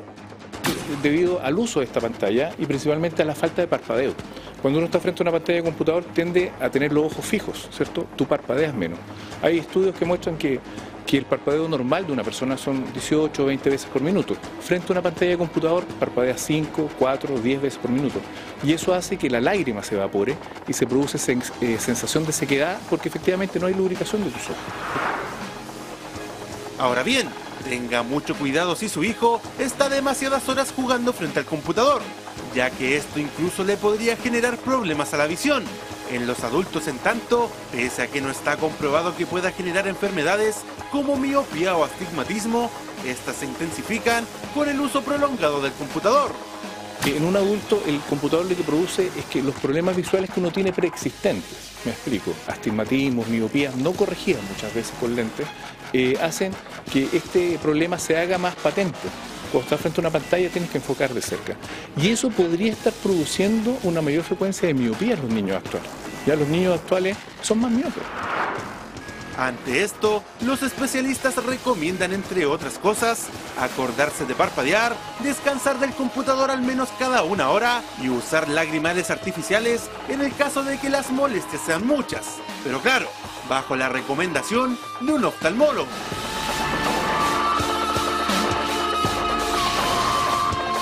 Bueno, la recomendación es clara, básicamente la que dice el oftalmólogo es no pasar largas horas en el computador, pero la realidad es que hoy día todos trabajan Sí, frente al porque computador. Mira, Julieta, tenéis que- Tenéis que sumar, no solo el computador, porque el computador es una, una situación Sí, estacional la ahí. tablet. Pero esta cuestión, después de tener el teléfono, estáis todo el día mirando una pantalla. Sí, eso es lo que- a Tres, cuatro horas. Entonces lo que dice el, lo que dice el oftalmólogo para que no se produzca, por ejemplo, el síndrome del ojo seco, que es que cuando tú estás frente a una pantalla parpadeas menos y eso hace que el ojo se reseque, Claro. básicamente es cada una hora tener que parar tu actividad frente al computador y mirar al horizonte o mirar al otro lado. ¿Quién hace eso? Y es como con- mirar Y las series mira. duran como una hora y más. y hay unas que uno no pestañea. No, pues. ¿Verdad? Game of Thrones, por Anoche ejemplo. cuando vi Game of Thrones, Claro. No, no, no, no, estaba bien, sí, estaba bien. Ok, pero a ver, nosotros somos, nosotros somos usuarios eh, básicos, usuarios ocasionales. ¿Qué pasa con las personas que trabajan Ah, frente a eso una no, pero pantalla? mira, yo- Por ejemplo. yo qué? Oficinista, por ejemplo. Me- Cuando leí esto en la pauta, yo quedé súper para adentro, porque a mí me dio, miop- o sea, me, me di cuenta que tenía miopía recién a los 21. Pienso que era justamente por mirar muy de cerca. Eso y después es. se me fue aumentando. Y claro, yo trabajé mucho tiempo sentada en un diario. Horas de horas, en Horas las y horas y horas pegado al computador y nada, nunca se me ocurrió mirar para allá si no era para decirle Bueno, algo al compañero. fíjate que au- aunque parezca un consejo demasiado básico y natural, yo con varios oftalmólogos que he hablado me dicen que lo mejor es que cada cierto rato, cuando uno está en la pantalla del computador y metre, metre, metre, es como echar para atrás y mirar lo más lejos que se pueda. es, Así como, claro, para que hagáis foco en algo lejano. Mira. Ojalá se pudiera, digamos, ir a ver el mar, digamos, Exacto. pero... Pero hagamos algo, escuchemos las recomendaciones que nos hace el oftalmólogo Gonzalo Valenzuela con respecto a cómo evitar De estos seco. problemas que nos puede provocar el computador. Mira, yo te diría que más de una hora de trabajo continuo ya produce algunas molestias. ¿ah? Si uno está más de una hora pegado frente a una pantalla de computador, uno ya siente molestia en los ojos. Y ya ahí uno debería ya parar y preocuparse y ojalá lubricarse el ojo. Y si ya hay síntomas como dolor de cabeza, ojo rojo, sensación de visión borrosa, eh, francamente consultar al oftalmólogo para que sea evaluado y le indique estas medidas. En un adulto, el computador lo que produce es que los problemas visuales que uno tiene preexistentes, me explico, astigmatismos, miopías no corregidas muchas veces con lentes, eh, hacen que este problema se haga más patente. Cuando estás frente a una pantalla tienes que enfocar de cerca. Y eso podría estar produciendo una mayor frecuencia de miopía en los niños actuales. Ya los niños actuales son más miopes. Ahora, eso sería súper bueno también, pero que hubiera una modificación al código laboral y que también Ajá. los empleadores supieran que cada una hora el perico que se para y empieza a mirar para allá no es que esté flojeando. Entonces, igual es bien complejo seguir eh, la recomendación del especialista. Difícil. Porque cuando uno es empleado, ¿cómo le decía a tu jefe? No, lo que pasa es que justo cumplí una hora y la Estoy recomendación es descansando que la tengo que mirar al horizonte. Voy a relajar la vista, Lo jefe. mínimo que te va a decir tu jefe es esas chivas nuevas. Sigue- no, el y ojo, espérate, sigue- sigue No, trabajando. y aquellos que tienen la posibilidad de contar con una ventana en la oficina, po, Claro. porque hay otros que tienen que mirar a lo más en la muralla que está al otro metro. Exacto. O al es, guatón Pérez que está al lado tuyo. Es están hechas puntualmente Claro. con los niños a tener ojos porque hay estudios que dicen Sí. que son los causantes de la miopía en los menores, entonces a tener ojos no más de una hora, los niños recomendable estar frente a un computador eh, exactamente. Entonces hay decir- que tener ojo en esos sentidos. Le puedo decir a mi hijo que no me está viendo en este momento, está en el colegio, pero voy a mandar un mensaje. ¡Una hora! Se acabó. Se acabó. Una hora. ¡Una hora de PlayStation! ¡Se acabó! Sí que no, y que el GTA uno imposible, no. No, no se puede. Salfate, pero vamos a cambiar de tema por- puntualmente por los santos. Ah, perfecto. La verdad es que cada persona prácticamente se puede decir que tiene un santo de su devoción. Hay santos que son para ciertos pedidos especiales. Hay un santo para el dinero, para el trabajo, para el amor. hay, hay santos para causas perdidas, por ejemplo, y todo lo demás. El caso es que este próximo 27 de abril, posterior a Semana Santa, va a ser canonizado, vale ser hecho santo Juan Pablo II, un papa anterior al anterior del anterior. Exactamente. Y Juan ¿qué? 23. Y Juan 23, ni más ni menos, más que merecido por, otro, por otra parte. Sin embargo, la pregunta es, ¿cómo es que una persona común y silvestre en algún momento, ya cuando ha pasado mejor vida, puede convertirse en un instrumento de Dios y que frente se ha probado que alguno le hace una solicitud que claramente cierra toda la posibilidad científica, se cumple? Todos estos detalles y los mejores santos que han existido a la vuelta de esta breve pausa comercial. Una pausa y ya volvemos. ¡Bravo! ¡Milagro! ¿Cómo? Porque existen. Ah. y solo a partir de la comprobación de las mismas, ciertas personas, como usted o yo, personas completamente normales que caminan por la tierra, pueden llegar a la calidad de santos, como va a ocurrir con Juan Pablo II y Juan 23 este próximo 27 de abril. Tenemos notas y a la vuelta vamos viendo uno por uno los más excelsos santos en la historia, por supuesto también los chilenos. Atención.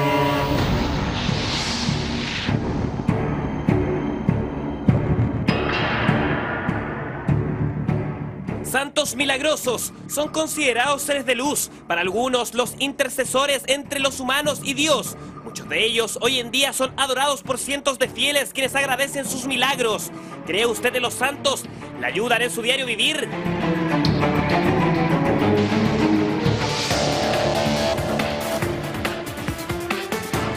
Muchos de ellos en algún momento de la historia fueron humanos. Su buen actuar en la tierra y principalmente su devoción con Dios los ha elevado a una categoría de seres espirituales capaces de ayudar cuando más estamos en peligro, cuando necesitamos de alguna mano sanadora. No significa que estas personas no pecaron, fueron tan humanos como nosotros, pero hicieron tanto bien en la tierra que la, la iglesia considera que su vida es ejemplar y por lo tanto ya están gozando del cielo. Santa Teresa de los Andes y San Alberto Hurtado fueron personas de fe que día a día ayudaban a quienes más lo necesitaban en nuestro país. Ellos llegaron a ser santos gracias a tener más de dos milagros, salvando vidas gracias a su mediación con Dios.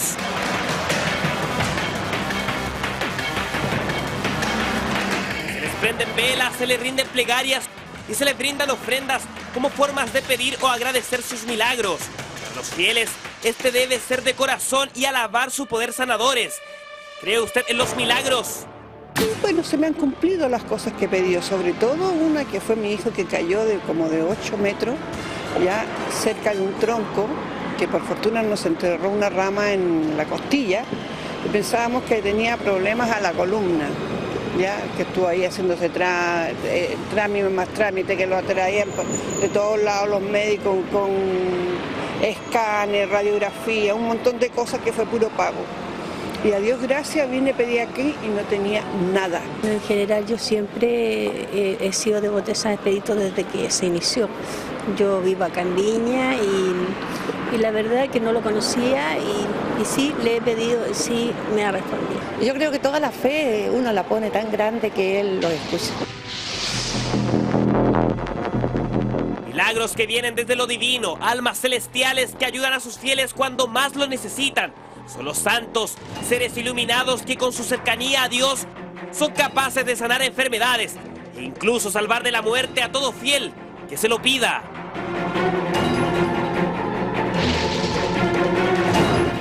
Son los santos, estos seres de luz que interceden entre nosotros, los terrenales, los humanos, y Dios, el jefe patrón.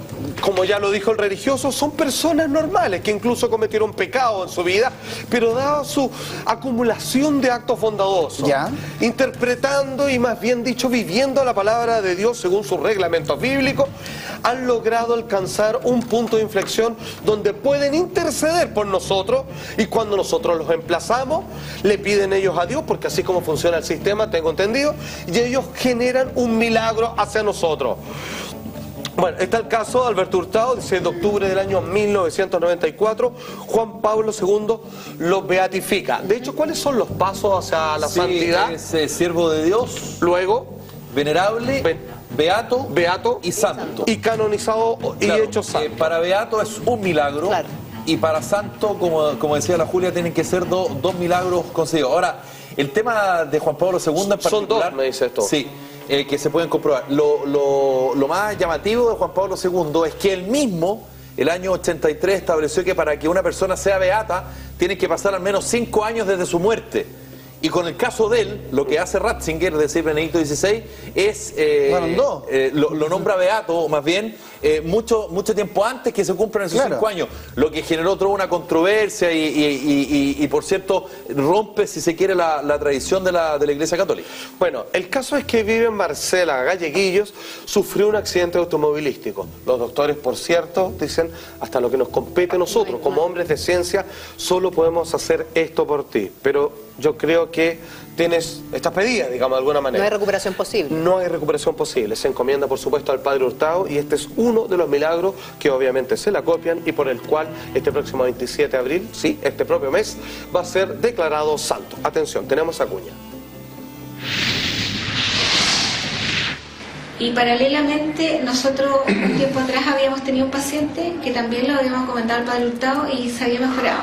Entonces, en ese momento, nosotros, viéndola a ella, la edad que tenía, el tipo de accidente y conociendo a la mamá, porque la mamá, ahora, porque yo me acuerdo bien, porque la mamá, ella tenía, tenía como mi hija, la mayor que yo tengo, y la mamá vivía en la UCI.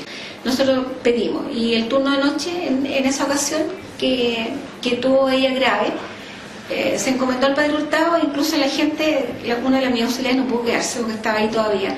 Eh, se tomaron de la mano y alrededor de la, de la cama le pidieron al padre Hurtado que hiciera, ¿no cierto?, un milagro, digamos. En el fondo uno siempre pide algo más. Es cuando eh, se encomienda al Padre Gustavo para que interceda, para que ocurra algún milagro. Y nosotros entonces como médicos empezamos a asistir a una evolución que en ningún momento nos, nos esperábamos. Exacto, un estado deplorable, neurológico, irrecuperable, como decía Julia, así fue como lo designaron los doctores. Sin embargo, en esta cadena de oración, toda dirigida exclusivamente al Padre Hurtado, esta persona termina sanándose de alguna manera y obviamente este, es uno de los milagros Claro, declarados como este tal. es el segundo milagro que hace finalmente que el Padre Hurtado sea canonizado, Canonizado. el 23 de octubre del 2005, que es cuando ya lo convierten en santo. Estos testimonios de los médicos y de la misma paciente son eh, considerados, por supuesto, en la investigación. o, o es más que nada un Sí, tema de... no, no, no, la nada, congregación para los santos eh, existe, es una entidad que existe y que se encarga justamente de establecer que el hecho no es eh, médico, ¿no es verdad? O sea, la sanación no es médica Es y que por lo tanto inexplicable, es del punto de inexplicable vista de la ciencia. y que de alguna manera la mano de eh, este sacerdote, en este caso jesuita, eh, es, digamos es el vehículo que, que- que es el, el medio por el cual permite el la mejora. Supremo, eh, Jesús, digámoslo. Dios, como tú quieras llamarlo, intercede para que esa persona de alguna manera se sane. Eso hay que aclararlo. Fíjese que más de alguna persona con formación religiosa, académica, nos ha explicado. Es un ser humano, el Padre Hurtado, que de alguna manera él tiene, ¿cómo decirlo?, una conexión directa, tiene un conducto inmediato con las fuerzas de la divinidad y él le pide que se canalicen a través de él y dado el rezo que la gente levanta hacia la figura del Padre Hurtado para que se cumpla un milagro en donde claramente la lógica no tiene cabida, o sea, sucede lo imposible. Claro.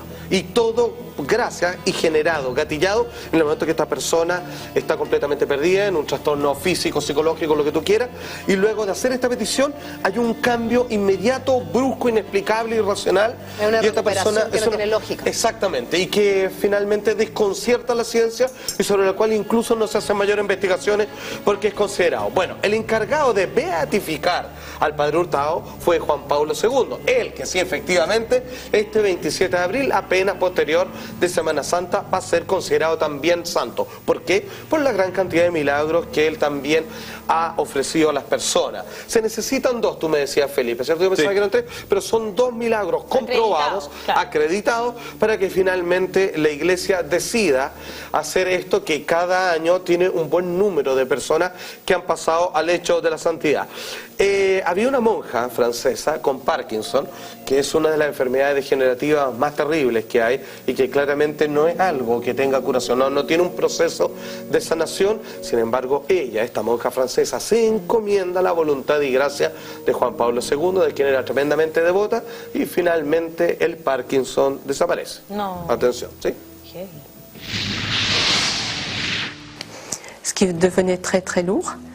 Et je lui ai dit, mais non, j'en peux plus, il faut, il faut que j'arrête, sinon le service euh, ne peut plus tourner, je ne peux plus le faire avancer, c'est pas possible. Je devais aller à Lourdes au mois d'août, euh, tu n'es pas encore allé à Lourdes, et, et elle a ajouté, Jean-Paul II n'a pas dit son dernier mot. Et, et là, euh, nous avons eu un long temps d'échange dans son bureau, dans une grande paix, je dirais. Elle m'a demandé d'écrire euh, le nom de Jean-Paul II sur un papier et je n'écrivais plus. Et elle m'a entendu une fois, je lui ai dit, mais non, mais tu sais bien que je ne peux plus écrire. Elle m'avait même proposé d'écrire de la main droite. Et je lui ai dit, mais ma main droite, je commence aussi à trembler. Et elle m'a dit, mais si, mais si. Elle a insisté. Et donc, euh, j'ai obéi, j'ai pris le stylo et j'ai écrit. Et devant cette écriture illisible, Esta monja francesa es uno de por lo menos los dos milagros que cumplió Juan Pablo II, en donde todas las oraciones y todo el rezo, con toda la fuerza de la petición que eso implica, pidiendo una curación imposible claramente, ya que los médicos tienen un límite, hay ciertas fronteras que no pueden cruzar porque nuestros avances no lo permiten sencillamente, y sin embargo, pasar de la noche a la mañana a estar completamente curado es lo que se conoce con todas sus letras un milagro. Pero ahí qué bonito lo que ella dice, porque está para confirmar en el fondo que Claro. se había sanado, la hacen escribir el nombre de Juan Pablo II. Y ella decía, no, no puedo, porque sus manos ya temblaban tanto que no era capaz de escribir. Exactamente, perfecto. Ahora, aquí viene algo curioso. Hay personas que la gente las declara santas, más no lo son. Y cuando digo no lo son, es porque la Iglesia Católica no las ha convertido en tal. No ha tenido el habido proceso de- en Exactamente, Vaticano, claro. de canonización o anteriormente beatificación. Aunque tú no lo creas como San Expedito. ¿En serio? San Expedito no es un santo. ¿Y por qué le dicen San Expedito? Y- y Porque, está reconocido por el porque yo creo que no cumple sé. con todos los requisitos en la práctica. Pero lo preguntamos más de alguna vez y efectivamente no es un santo. De hecho, él era un soldado romano que en algún momento se vuelve al cristianismo, es obviamente torturado y finalmente se convierte en mártir tras convertirse a la religión cristiana. Y hoy día, hoy por hoy, es conocido como el santo de las causas urgentes, las causas imposibles. En Chile, qué duda cabe, es un santo para muchos. Sin embargo, insisto, la Iglesia Católica no lo tiene considerado como tal. Esto, fíjate que la verdad que a mí también me extrañó, se lo pregunté a personas que saben del tema y no está dentro de la lista siquiera de las personas que tengo entendido podrían llegar a convertirse en santos. Porque aquí, yo- esto yo planteo una duda, esto no lo sé. Para ser santo, primero hay que ser persona de iglesia, tengo entendido, pero gente que esté dentro del culto religioso. O sea, no puede ser alguien que asista a la iglesia sencillamente, un feligrés como cualquier otro. es que eso no lo sé. ¿Cómo, espérate, Laurita no- Vicuña no es santa? Sí, pues. Es santa, ¿no? No, no, no, beata.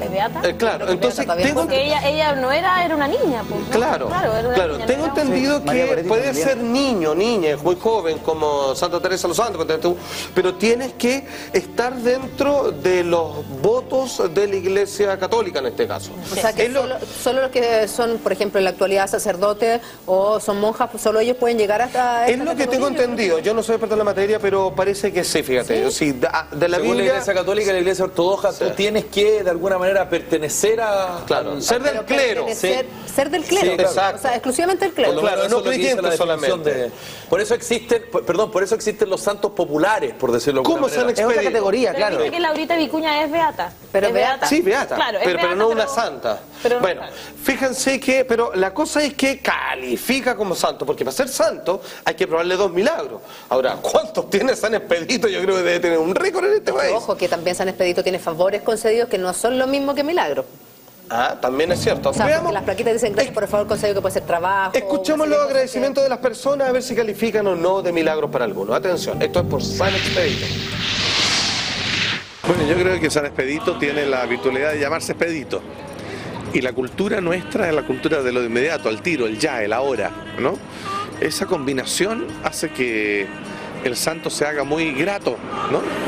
Eh, todo aquel que tiene una gran necesidad la tiene ya ahora, la salud de un hijo, el encontrar trabajo, y San Expedito ocupa un poco ese vínculo, ese puente, ¿no? Para que mi oración llegue a Dios mediante su, su- su presencia, su nombre. Es muy milagroso. Es milagroso. Milagroso, sí. ¿Por qué lo hizo usted? ¿Alguna experiencia que nos pueda contar? Sí, yo le he hecho pedido y él me ha cumplido. Bueno, o sea, la verdad es que no hay un registro claro de todos los favores concedidos que ha hecho, eh, concedido, y concedido, por cierto, eh, San Expedito. Pero yo creo que por ahí algunos quizás hasta califican de milagro, no lo sabemos. Ahora, pero, pero claramente hay que rigor, decirlo, en estricto sí, rigor él no es un santo y no podría ser. O estamos hablando de otra categoría, porque ya está el santo que fue siervo de Dios, como decía Felipe, luego eh, beato, Eh, y- venerado, venera- venerable, beato, y beato, santo. y después santo. Y este que es por fervor popular, porque la gente le cree, porque está en una iglesia, porque la gente asiste masivamente, se trata de, se habla de santo, pero tiene no que haber hecho algún milagro porque si no la gente no le creería, pues, creo yo. O sea, más de, De alguien tiene que haber sentido que efectivamente... Claro, se quizás lo que investigar, hace él son trámites menores, por ponerle algún nombre, digamos. No, no menores Ahora porque parece para, que- para mucha gente conseguir un trabajo en situaciones es demasiado importante. Claro. Pero así como eh, comprobar de salud, de que médicamente, científicamente Claro, está con... claro lo, que, lo que pasa es que un trabajo lo puede calificar de milagro, no es que decir como, eh, que- claro, a menos que... Fuera de una coincidencia, digamos. ¿no? Claro, a menos que una persona, digamos que, no sé, pues no tiene brazo y le dan un, no sé, pues, un trabajo así como... Ya. Parece que, como- conversiones al cristianismo también parece que se consideran, ¿ah? ¿Con qué cosa, Que, perdón? que alguien se convierta al cristianismo, como en el caso de, De San Expedito, por que alguien- ejemplo. que alguien, Pero por parece ejemplo, que llega hasta beato. romano confirma convertirse igual heavy. Parece que llega hasta ahí nomás. Pero sin embargo, fíjate que Chile, que eh, hay que decirlo, está cargado de santos. Cualquier persona que haya ido a México, allá el nivel de fe es tan grande que sencillamente crean santos, pero por cada rincón de ese país. Incluso hasta tasan la muerte. Porque tienen, ¿cómo decirlo? Un exceso de fe. Pero hay algunos que derechamente están considerados por la Iglesia Católica como es San Juan Diego. ¿Qué hizo él? Se lo cuento de inmediato, pero ante mis amigos, un consejo. Así es, porque con Pollo Aristía, el que sabe, sabe. A ver. Julita, ¿sabes cuál es el tiempo de conservación de un pollo? Sí, por supuesto. Si se mantiene refrigerado permanentemente entre 0 y 2 grados, puede durar hasta 12 días desde su fecha de proceso. En cambio, si se mantiene congelado, puede durar hasta 12 meses. Porque sabemos de pollo, prefiere Aristía. El que sabe, sabe. Aristía, experiencia familiar. Gracias Aristía, por estar con nosotros. Juan Andrés, tenemos noticias de último minuto. Exactamente, amigos míos, en alto auspicio, en cosa de minutos han habido tres sismos sobre cinco. Uno de cinco, que finalmente se redujo a eso, otro de 5-1, partiendo uno, un cuarto para las 11, hace muy poco, de 6,1. O sea, Alto Hospicio, digamos, que ha sido completamente aplastado por la desgracia y que ha sido uno de los lugares, digamos, quizás más olvidados, hoy en día sigue temblando y obviamente la gente vuelve a inquietarse porque en un periodo de no más de 25 minutos tembló tres, veces, De todos hecho, y cada de- uno, pe- 20 minutos perceptible. Está. Mira, Se sintió también en. Iquique. El, de Altos Pisos, ese de 6.1, fue a las 10 de la mañana con 43 minutos, tuvo una profundidad de 35 kilómetros y se situó como referencia a 84 kilómetros al oeste, es decir, hacia el mar de Altos Pisos. En eh, las intensidades son altísimas en Quillagua, en Arica, en Altos Pisos alcanzó Mercalli 4, en Camiña también, Guara, que ha sido muy golpeado, en Pica también grado 4, en Iquique grado 4 en la escala de Mercalli, que es finalmente como lo percibe la la, gente gente. Exactamente, tiene que ver con la Exacto, que percepción. finalmente es lo que importa a esta altura. Claro. Después de que sucedió el terremoto, de aquí en adelante, siempre como hago el comparativo, ¿no? Que estos son como los ataques cardíacos. Después de que pasas por uno, obviamente cada indicio de que pueda venir el segundo, el miedo que te inunda, yo creo que es mucho peor que una que cuando tuviste el primero. yo Claro, la- además van corrigiendo las magnitudes a medida que pasan los minutos. El primero fue de 6.1, luego a las 10.47 un 5.0 y a las 10 con- a las 11.3, pocos minutos después, en el mismo lugar, 5.1, Juan Andrés. Insisto, no, no, no quiero emplazar, digamos, a, lo- a los catedráticos, pero yo creo que ah, siempre cuando se ha discutido respecto, cuando los matinales o cualquier programa en cuestión habla respecto a los sismos, tiene que ver eh, derechamente cómo eh, finalmente la gente enfrenta los miedos cómo no se llama al, al pánico. Y tiene que ver porque los catedráticos son los que han dicho que este que ocurrió no es el grande que estaban esperando. Entonces yo creo que eso es más inquietante. Se supone que no se pueden saber cuándo vienen los, Ahora también los terremotos, pero es que casi esto hacer lo mismo. ayuda a liberar energía y que los, los próximos serían no más que de la dicen que misma- no. del mismo nivel de 8,2. Claro. Entonces, eh, hay, hay distintas, Hay distintas teorías. a esta situación, pero ya estamos en contacto telefónico Con Haroldo Maciel. Exactamente. Haroldo, amigo mío, ¿cómo estás? Hola, buen día a todos. Eh, nuevamente un gusto hablar con Mañaneros. Como siempre, maestro, igualmente, amigo mío. La pregunta del millón, compañero.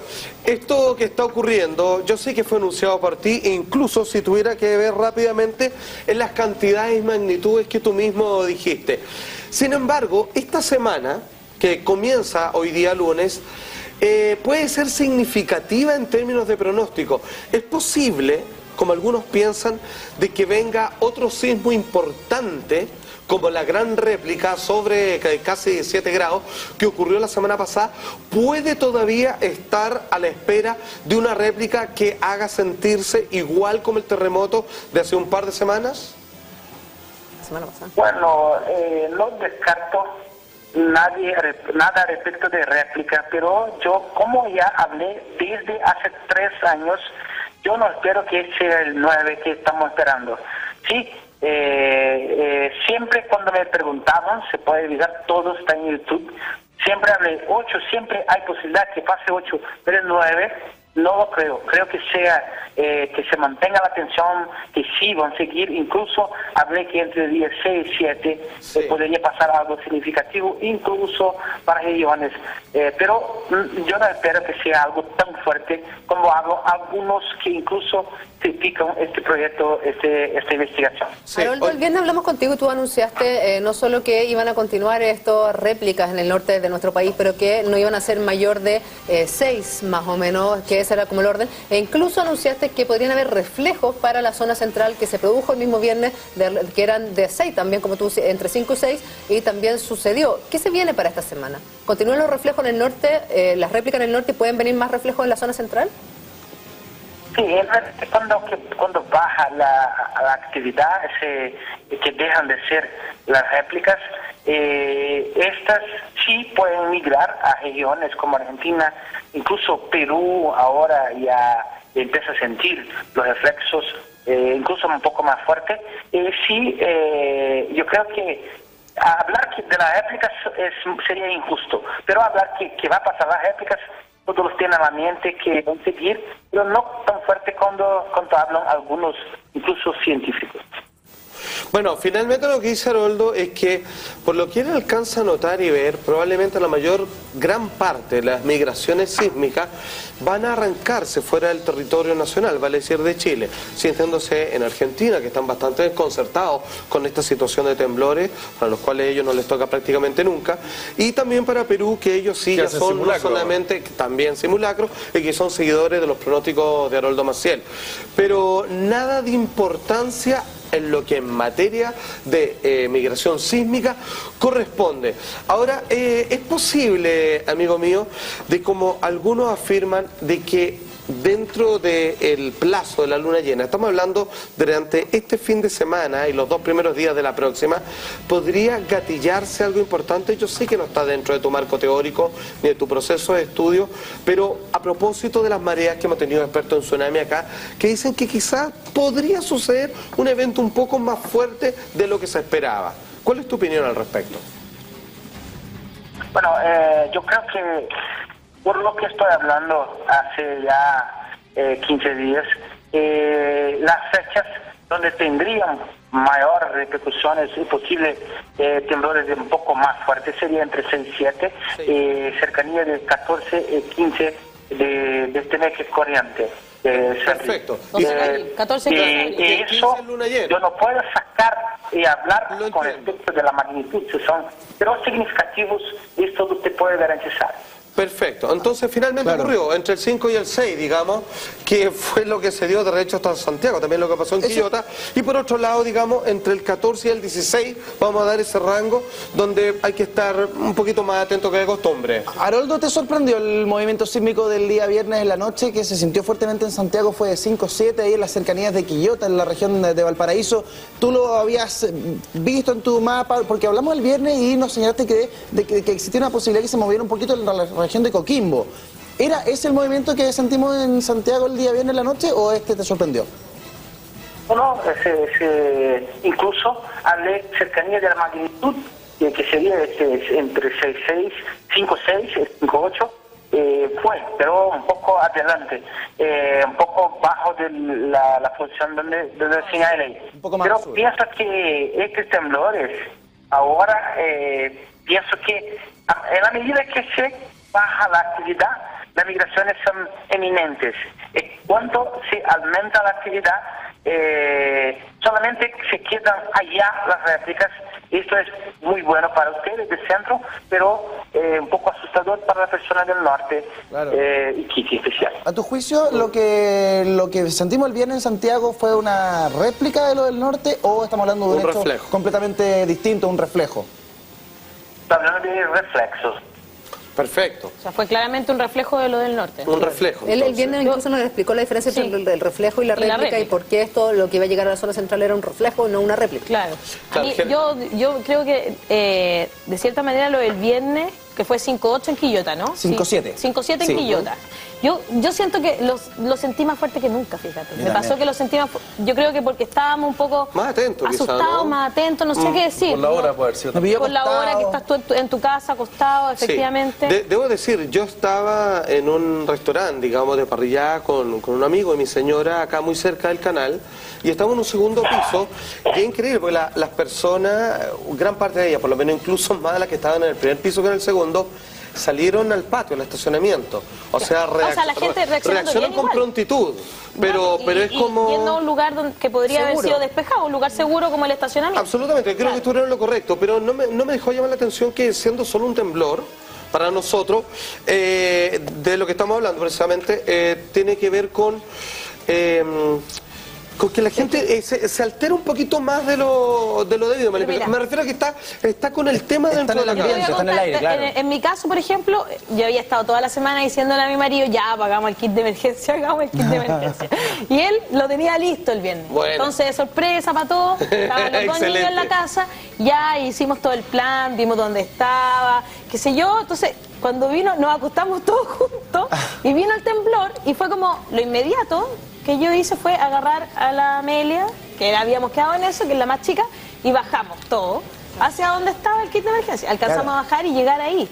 Incluso bueno había niños. estado mi tía en la casa y me contaba que ella también había Sí. alcanzado a agarrar Bueno, su propio oye, kit de emergencia. a todo esto- Claro, porque uno ya está por último, programado, preparado a que eso suceda y mejor Fue buen prevenir ejercicio que para los niños, Ale, Sí, bien. Sí. Absolutamente. Ahora tú comprenderás que yo que estaba en el baño y que subí, digamos, la gente me miraba y me preguntaba, ¿Qué haces al padre acá? ¿va a pasar algo más? Así como, no, tranquilo, eso era todo. Y sigue así. Bueno, pero fíjate que ha- hay algo importante. Eh, a ver, escúchame bien esto, Roldo, porque te voy a volver a preguntar tu opinión. Ex- existe un mago, ¿cierto? El mago Jin, que es un psíquico, vamos a decir así, que cuando fue el terremoto, ojo, del 27F, él vino posteriormente y dice que había soñado con eso, con un maremoto, veía que el agua y todo lo demás. Y esta vez, para no descartar nada, para que no digan que él lo dijo después, no, perdón, y lo había dicho antes del terremoto pasado, de hecho, yo me acuerdo, porque estuve en un programa con él, y mostraba en el video, esto lo dijo en México, ponte tú.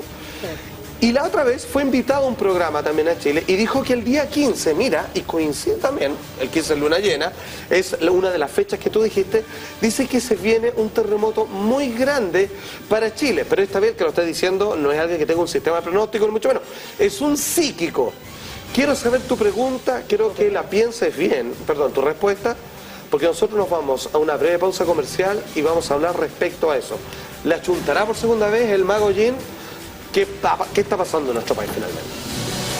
Una pausa y ya volvemos. Ya estamos de regreso en Mañaneros hablando respecto de las réplicas que se acaban de sentir en el norte de nuestro país, precisamente en Alto Hospicio, la más fuerte de 6.1 a las 10.43 Exacto. minutos y estamos en contacto con Haroldo Maciel. Haroldo Maciel, a Haroldo le dejamos plantear una pregunta, porque, a ver, hay que decir una cosa. Eh, cuando fue el 27F, el terremoto, eh, días antes, un psíquico, ¿cierto? Como hay tantos, digamos, yo, yo no sé en qué categoría los pondrá cada uno de ustedes, digamos, pero derechamente eh, tiene que ver con que algunos dicen que detentan un poder capaz de predecir el futuro con un cierto lujo de detalle. Y en aquella ocasión el mago Yen dijo que se venía un terremoto para Chile, me acuerdo, previo al 27F. Y esto lo dijo creo que en un programa México, Argentina, no estoy... Puerto no- Rico, o Panamá, Puerto sí, Rico, no estoy tan seguro. Y posteriormente cuando esto ocurre, es invitado a, a varios programas de, de farándula, de entrevistas, y obviamente que quedó en un altar, obviamente como que era capaz de predecir el futuro y que nadie lo tomó en cuenta. Bueno, lo vuelve a hacer, solo que esta vez él habla posterior al terremoto del norte y dice, ojo, esto no, no es lo importante, sino que va a venir uno más grande y, y lo dice con fecha, que es el 15 de abril. ¿Ok? Ahora, eh, si bien nosotros, por lo menos yo en lo personal no, no le doy mucha cuantificación a lo, a lo que dicen los psíquicos, eh, porque hay de todo, la verdad, y Claro. ya él tuvo la oportunidad de conocerlo y mm, no sé. bueno, la, la pregunta es que es una fecha que se repite que en vino- aquellos que se hacen Estaba al aire el viernes cuando fue el temblor y no fue capaz de decir nada. Entonces no ahí tú decís, ¿Qué onda? 11 con 42 tomamos contacto con Mario Pardo, sismólogo del Centro de Sismolo- Sismológico Nacional, es subdirector de aquella entidad. Don Mario, gracias por atender nuestro llamado. Eh, don Mario, de partida, el 5-7 que sentimos el día viernes en la noche, ¿qué fue? ¿Una réplica? ¿Un hecho distinto? ¿Un eh, presagio de algo? ¿Se viene algo para la zona central? ¿Usted No, en, en absoluto. Es un sismo normal que ocurre en la región y yo diría que simplemente un recordatorio de la naturaleza de que tiembla de. Perfecto, o sea, no tiene nada que ver con el norte y tampoco significa nada especial, sino que es un movimiento sísmico que se genera en la zona centro del país y que es eh, completamente posible en un país sísmico como el nuestro. O sea, coincidencia. Sí, exactamente. Ahora, Mario, en cuanto a lo que está pasando puntualmente en el norte de estas réplicas, incluso la que estábamos recién comentando, esta 6,1 a las 10.43 de la mañana, eh, ¿se va a venir constantemente? ¿Por cuántos meses va a durar esta condición de réplicas constantes de esta magnitud, incluso llegando a los 6,1 para el norte de nuestro país? Y bueno, fue lo que dijimos desde un comienzo. Tenemos que esperar una, eh, un periodo intenso de réplicas los primeros meses. Y si todo está dentro de lo normal, deberían de crecer en magnitud y estar cada vez más espaciada en el tiempo. No, eh, Ahora, señor Mar- Mario, sí, perdón. Lo que pasa es que yo entiendo lo que usted dice, pero la gente que está en el norte está asustada, está estresada, está cansada. Eh, ¿Qué le podríamos decir a ellos para tranquilizarlos? Porque de repente cuando dicen este no es el gran terremoto que esperábamos, pucha, da susto también, ¿o no? Eh, yo entiendo a la gente. eh, yo, yo diría que estamos en las mismas condiciones de antes que ocurriera el, el 8.2. Eh, seguimos esperando que, que pase en la zona y lamentablemente estamos en Chile, donde permanentemente ocurren terremotos y van a seguir ocurriendo en el futuro, eso no les quepa ni la más mínima duda. Mario, eh, eh, obviamente uh, tú hablaste y obviamente los sismólogos aún esperan un sismo que podría llegar incluso hasta, por ahí se habló, de 9 grados. Que haya existido uno tan fuerte de 8.2 hace muy poco, eso necesariamente dentro de lo que ustedes saben o entienden, ¿aplaza el, que, el grande que están esperando o puede ocurrir hoy día mismo, como mañana, como en 50 años más? Mm, Yo me voy por el segundo escenario que estás planteando. O sea, eh, no necesariamente lo aplaza, pero sin embargo, como bien dije, estamos en las mismas condiciones de antes que, que ocurrir el 8.2. Seguimos esperando a que pase en la zona, que es una zona donde no se ha movido la placa en forma significativa en los últimos 130 años. Y en ese sentido, Mario, uno de, de la ignorancia, eh, uno cree que la liberación de energía, a pesar de que fue un 8,2, pero se tiene que haber liberado harta energía, eh, haría que este terremoto o este gran sismo que se espera fuera de, ma- de menor magnitud. ¿Tiene alguna relación o eso es como creencia popular? No, es eso, sí, sí tiene alguna relación. El 8.2 disipa eh, energía importante de la, de, la, de la que estaba acumulada en la zona. Sin embargo, no disipa toda la energía que estaba acumulada. y ese es el punto. Ahora, ¿cuán- ¿cuándo se va a disipar esa otra energía? No lo vemos ni nosotros ni nadie en el mundo. Perfecto. O sea, por, por más bola de cristal que tengamos, yo creo que no lo podemos estimar por ningún lado. Eh, Mario, si, lo pudiéramos hacer, ya me habría comprado un chino hace tiempo. Mario, ¿estás, estás viendo la pantalla? ¿Estás viendo la pantalla de la red hasta No ahora? estoy viendo la pantalla, estoy por teléfono, Solo por o sea, teléfono, no tengo ya. ninguna información de Mario. nada de lo que han dicho hasta ahora. Ni... No, no, pero Mario, escúchame. eh, como se indicó desde el comienzo del 8.2, se fisuró solo la parte intermedia de la gran fisura que se esperaba. De estos 600, 700 kilómetros que se debían fisurar, se fisuró solo al medio. Las réplicas, según lo que nos han indicado los expertos, trazan un dibujo de hacia dónde debiera seguir trizándose o o fisurándose esto. ¿Estoy correcto no, o no, estoy no, mal? la- la réplica... este, las réplicas solamente van a delinear la zona de ruptura del terremoto 8.2. Ok. O sea, esa, esa zona es la que se movió del orden de 5 o 6 metros. Y todo lo que ocurra dentro de esa zona de ruptura es considerado una réplica si tiene una magnitud menor que el sismo principal 8.2. Perfecto, por ende, todas las eh, réplicas que se han sentido, incluido el 6.1 de las 10 de la mañana con 43 minutos de ahora, hace muy poquito, no son eh, in- indicatorios de hacia dónde debiera comenzar a moverse, si hacia el norte o hacia el sur de donde fue el 8.2. No, si empezáramos a, a registrar réplicas dentro de la zona de silencio sísmico hasta ahora, eh, yo me estaría preocupando un poco, o sea, pero eso no significa la preocupación de que venga inminentemente algo.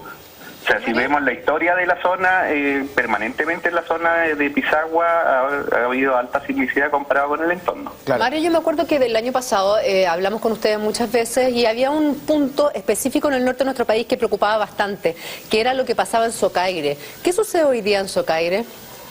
Bueno, esos son sismos profundos, que son los que estuvieron ocurriendo eh, eh, intensamente previo al terremoto, y eso indica que la zona estaba acoplada, o sea que no se había movido, y como no se ha movido, si está trancada la, la, la, la placa en el contacto interplaca y estoy tirando la placa en profundidad, se, se raja la placa en profundidad, igual que una alfombra que tire y Claro. se va a rajar la alfombra.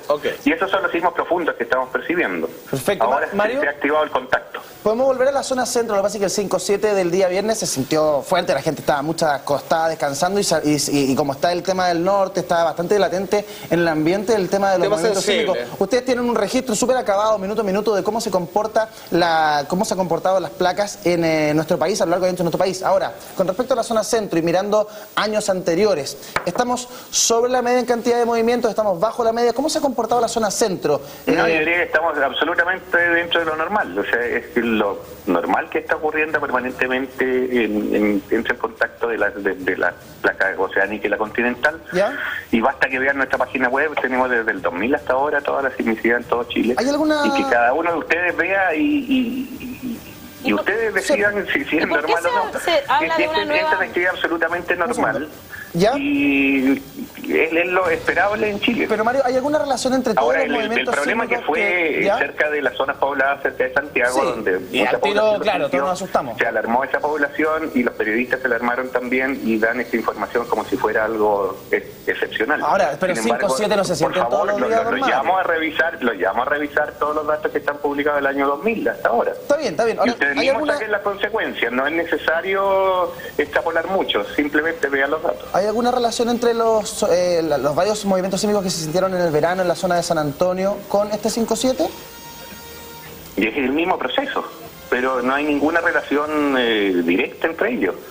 O sea, el mismo proceso de que estoy tirando esta placa bajo el continente y estoy moviendo ya sea el contacto o en, en profundidad. Y esto ocurre permanentemente y no veo ningún ninguna anomalía al respecto Mario, en, ¿y por qué en la se- zona central. ¿Por qué se habla entonces de una nueva brecha que está en la zona central, que salió hasta en una portada el fin de semana? Eh, no, no desconozco la portada. eh, podemos hablar de brecha sísmica en todo el país. En todo el país. Eh, eh, sí, el- es es menos peligrosa la, la zona del Maule porque se activó hace poco y hay que esperar mucho tiempo para que vuelva a acumularse energía. O sea, este es un proceso continuo.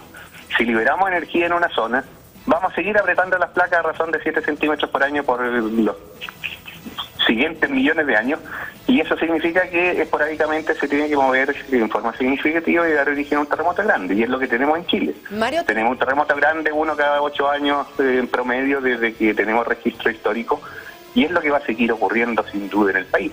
Mario, Y queremos... dado que sabemos eso, mejor preocupémonos de qué hacer con eso. De estar Cómo, cómo reaccionar, cómo informar, cómo dar el, eh, información a la gente que lo está pidiendo. Exactamente, Mario, Y- tenemos muchas dudas y muchas preguntas que queremos realizarte. Felipe tiene preguntas que hacerte con relación a lo que se sintió el viernes acá y lo que está pasando en el norte y cuánto tiempo más nuestros compatriotas van a tener que estar eh, soportando estas réplicas del terremoto 8.2. Pero antes, Alfate nos tiene un pequeño consejo. Seguíamos hablando con Mario Pardo de Sismología que asegura que lo que vivimos el viernes en la zona central fue un hecho completamente normal, que si revisamos la página de Sismología podemos toparnos que en años anteriores estos sismos del alrededor de 5.7 en eh, precisamente la región central son normales. Tú tienes una pregunta, Felipe. Sí, yo, yo, yo, a propósito de lo que preguntaba la Ale sobre estas, digamos, trozos, si se quiere, Claro. donde la, la tierra está partida. eh, ya hemos aprendido que lo del 27F fue entre Pichilemu y el Golfo Arauco, eh, en fin, pero también hay otro que es entre Huasco y Pichilemu. Sí. Y hasta lo que yo entendía, el terremoto del 3 de marzo del año 85 correspondía justamente a esa brecha. Sin embargo, eso no fue un megasismo. El 7.8 no fue un megasismo, sino que correspondería al de 1906 en Valparaíso y uno de 1700 algo que fue aún peor. 1730. Como nos explicaba el experto, que no me recuerdo el otro día eh, el nombre que estaba acá con nosotros. Por lo tanto, Teodoro también creo yo, Muy bien. eh, Teodoro, exacto, también creo yo que es legítimo uno, como ciudadano del sector centro de Chile, preguntar, bueno, estamos preocupados en el norte, pasó lo del 27F en el sur, ¿qué tan preocupados tenemos que estar los de la zona central de Chile frente a la eventualidad de un sismo cercano a los 8 grados? La respuesta de Mario Pardo la tendremos a la vuelta de esta pausa comercial. Regresamos a Mañaneros. Una pausa y ya volvemos. Estamos de vuelta en Mañanero, ya se nos viene intruso en unos minutos más, pero ojo, estamos conversando sobre los movimientos sísmicos que se han generado en nuestro país. Un 6.1 a las 10.43 y luego dos eh, réplicas más de 5 grados cada una. Estábamos en contacto con Mario Pardo, sismólogo del Centro Sismológico Nacional. Ese contacto se perdió. Mario Pardo tuvo que entrar a una clase, pero mantenemos durante toda esta semana conversando el tema y tratando de informar a la gente sobre lo que acontece en el norte, Ahora- en el centro del país Voy a principalmente. mandar la respuesta por correo. Exacto. Ahora, Lo que pasa es que la pregunta de Felipe era demasiado extensa. Era demasiado extensa y lamentablemente Mario Pardo tenía que estar e ingresar a esta clase. Eh, bueno, recapitulando un poco lo que dijo el sismólogo, efectivamente que lo que sucedió el viernes en la zona central es algo común, que si se mira en los años anteriores en la página de sismología, usted lo puede hacer en sismología.cl.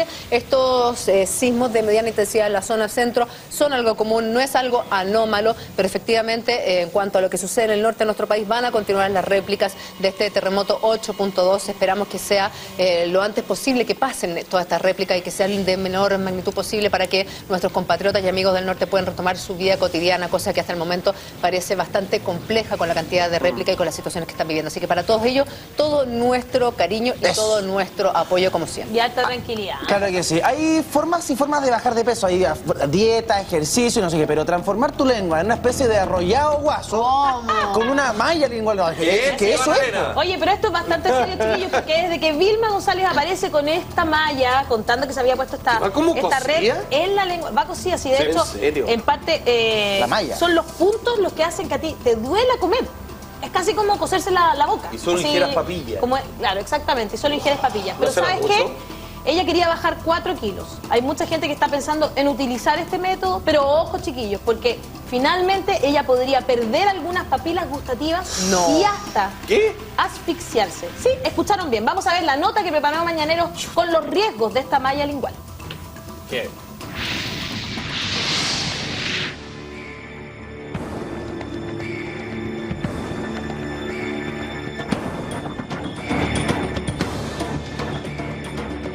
La presión por tener un cuerpo perfecto puede hacer que muchas personas lleguen a extremos, como por ejemplo coserse una malla en la lengua. Tal como escuchó, esta no permitiría comer alimentos sólidos, por lo que debe alimentarse solo de comidas procesadas, como papillas, leche y yogur. También provocaría mucha sed, por lo que el consumo de agua sería abundante. Pero esta técnica para bajar de peso ha recibido muchas críticas por parte de expertos, quienes lo ven como un tratamiento poco saludable y riesgoso. Están los riesgos físicos sobre la lengua como tal, el cambio de los sabores, la, percepción de los alimentos, la paliatividad de los alimentos obviamente va a cambiar. Segundo, eh, cuando se quita el estímulo doloroso, porque el paciente en el fondo no va a comer nada que tenga mayor consistencia porque le duele. Encuentro que es un estímulo que, que- que provoca algún tipo de daño. Otro tema que preocupa a la doctora es el efecto rebote que tendrían las personas que usen este dispositivo, ya que el cambio no es psicológico, por lo que los hábitos de comida seguirían siendo los mismos, lo que haría que la subida de peso sea casi segura. El efecto rebote eh, es lo que menos, es decir, es lo que, lo que más va, a afectar al paciente porque el paciente va a empezar a comer de manera como se alimentaba antes, porque no hay una educación, no es una cosa paulatina, además de los daños que puedan haber, los cambios en el paladar, eh, en la lengua también tiene funciones. La, la detección de los sabores a través de la lengua, todas esas cosas se pueden afectar, es un órgano bastante sensible. Entonces hay que ver todas las consecuencias que puede traer detrás eh, todo esto. La modelo Lucy Lavitt tampoco está de acuerdo con este tipo de tratamiento, ni con la decisión de Vilma González, quien puso en la palestra esta técnica para bajar rápidamente de peso. Bien que uno quiera verse bien en televisión y todo, pero, pero yo con ese método tan eh, invasivo encuentro que, que- que no, estoy muy en desacuerdo, porque creo que, que hay métodos más naturales, eh, más a largo plazo. ¿Y usted está de acuerdo con ponerse una malla en la lengua? No, no me la pondría. Porque prefiero hacer ejercicio, algo más sano. No para nada, porque el ejercicio es más sano, es, más, es algo que complementa con el cuerpo. Lo, lo encuentro antiestético, aparte que yo creo que hay otras maneras de bajar de peso. Aparte de las complicaciones que ya le mencionamos, esta práctica puede traerle problemas en su boca, ya que al estar saturada la malla no se podría limpiar la zona que está debajo de esta, lo que generaría mal aliento continuo, además de alteraciones en las papilas gustativas y hasta riesgo de asfixia. Estas son algunas de las consecuencias que tendría la malla lingual.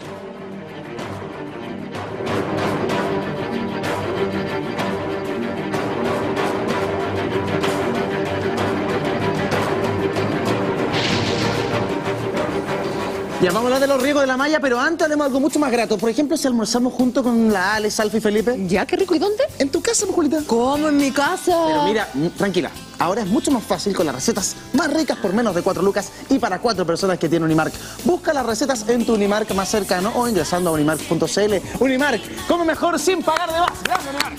Fuerte el aplauso para Unimark. La verdad es que llama muchísimo la atención esta malla lingual que utilizó Vilma González y que hace algún tiempo utilizó también el abogado Helwe Surni, que fue la primera que yo Sí. diría lo puso en el tapete el año Mm, pasado y mira. adelgazó bastantes kilos. Pero acá hay una Oh. serie de riesgos, Ale, más allá de esa imagen que es terrible, sino Pobre el lengua. efecto rebote, que todo lo que tú bajas lo engordas en cosas de ¿no? segundos. Porque esto es como hacer eh, huelga de hambre. en. Esto es como amarrarse la, cerrar la boca y cosérsela. lo- po. Tú, claro, consumes igual, podría decir ella los nutrientes, en fin, porque te hacen unas papillas, pero no es lo mismo. Como las no es lo mismo, entonces tu cuerpo cuando tú empiezas a comer bien, Oh, qué dolor. al tiro lo, lo- lo absorbe todo. Entonces por eso se provoca un efecto rebote. Pero más que el efecto rebote, a mí me preocupan otras cosas. Tenemos preparada una gráfica justamente para explicar, ahí estamos viendo, ¿no? ¿Cómo se No? Lo que te hacen, que te ponen esta malla Cosido. y te hacen ¡pum! puntos, exactamente. Te la cosen a la ¿Y lengua. ¿Cuánto tiempo según lo que tú quieras bajar? O... Claro, exactamente, depende de lo que tú quieras bajar. Hay que pensar que ella quería bajar doler 4 un kilos. montón. 4 kilos y se la puso por 15 días.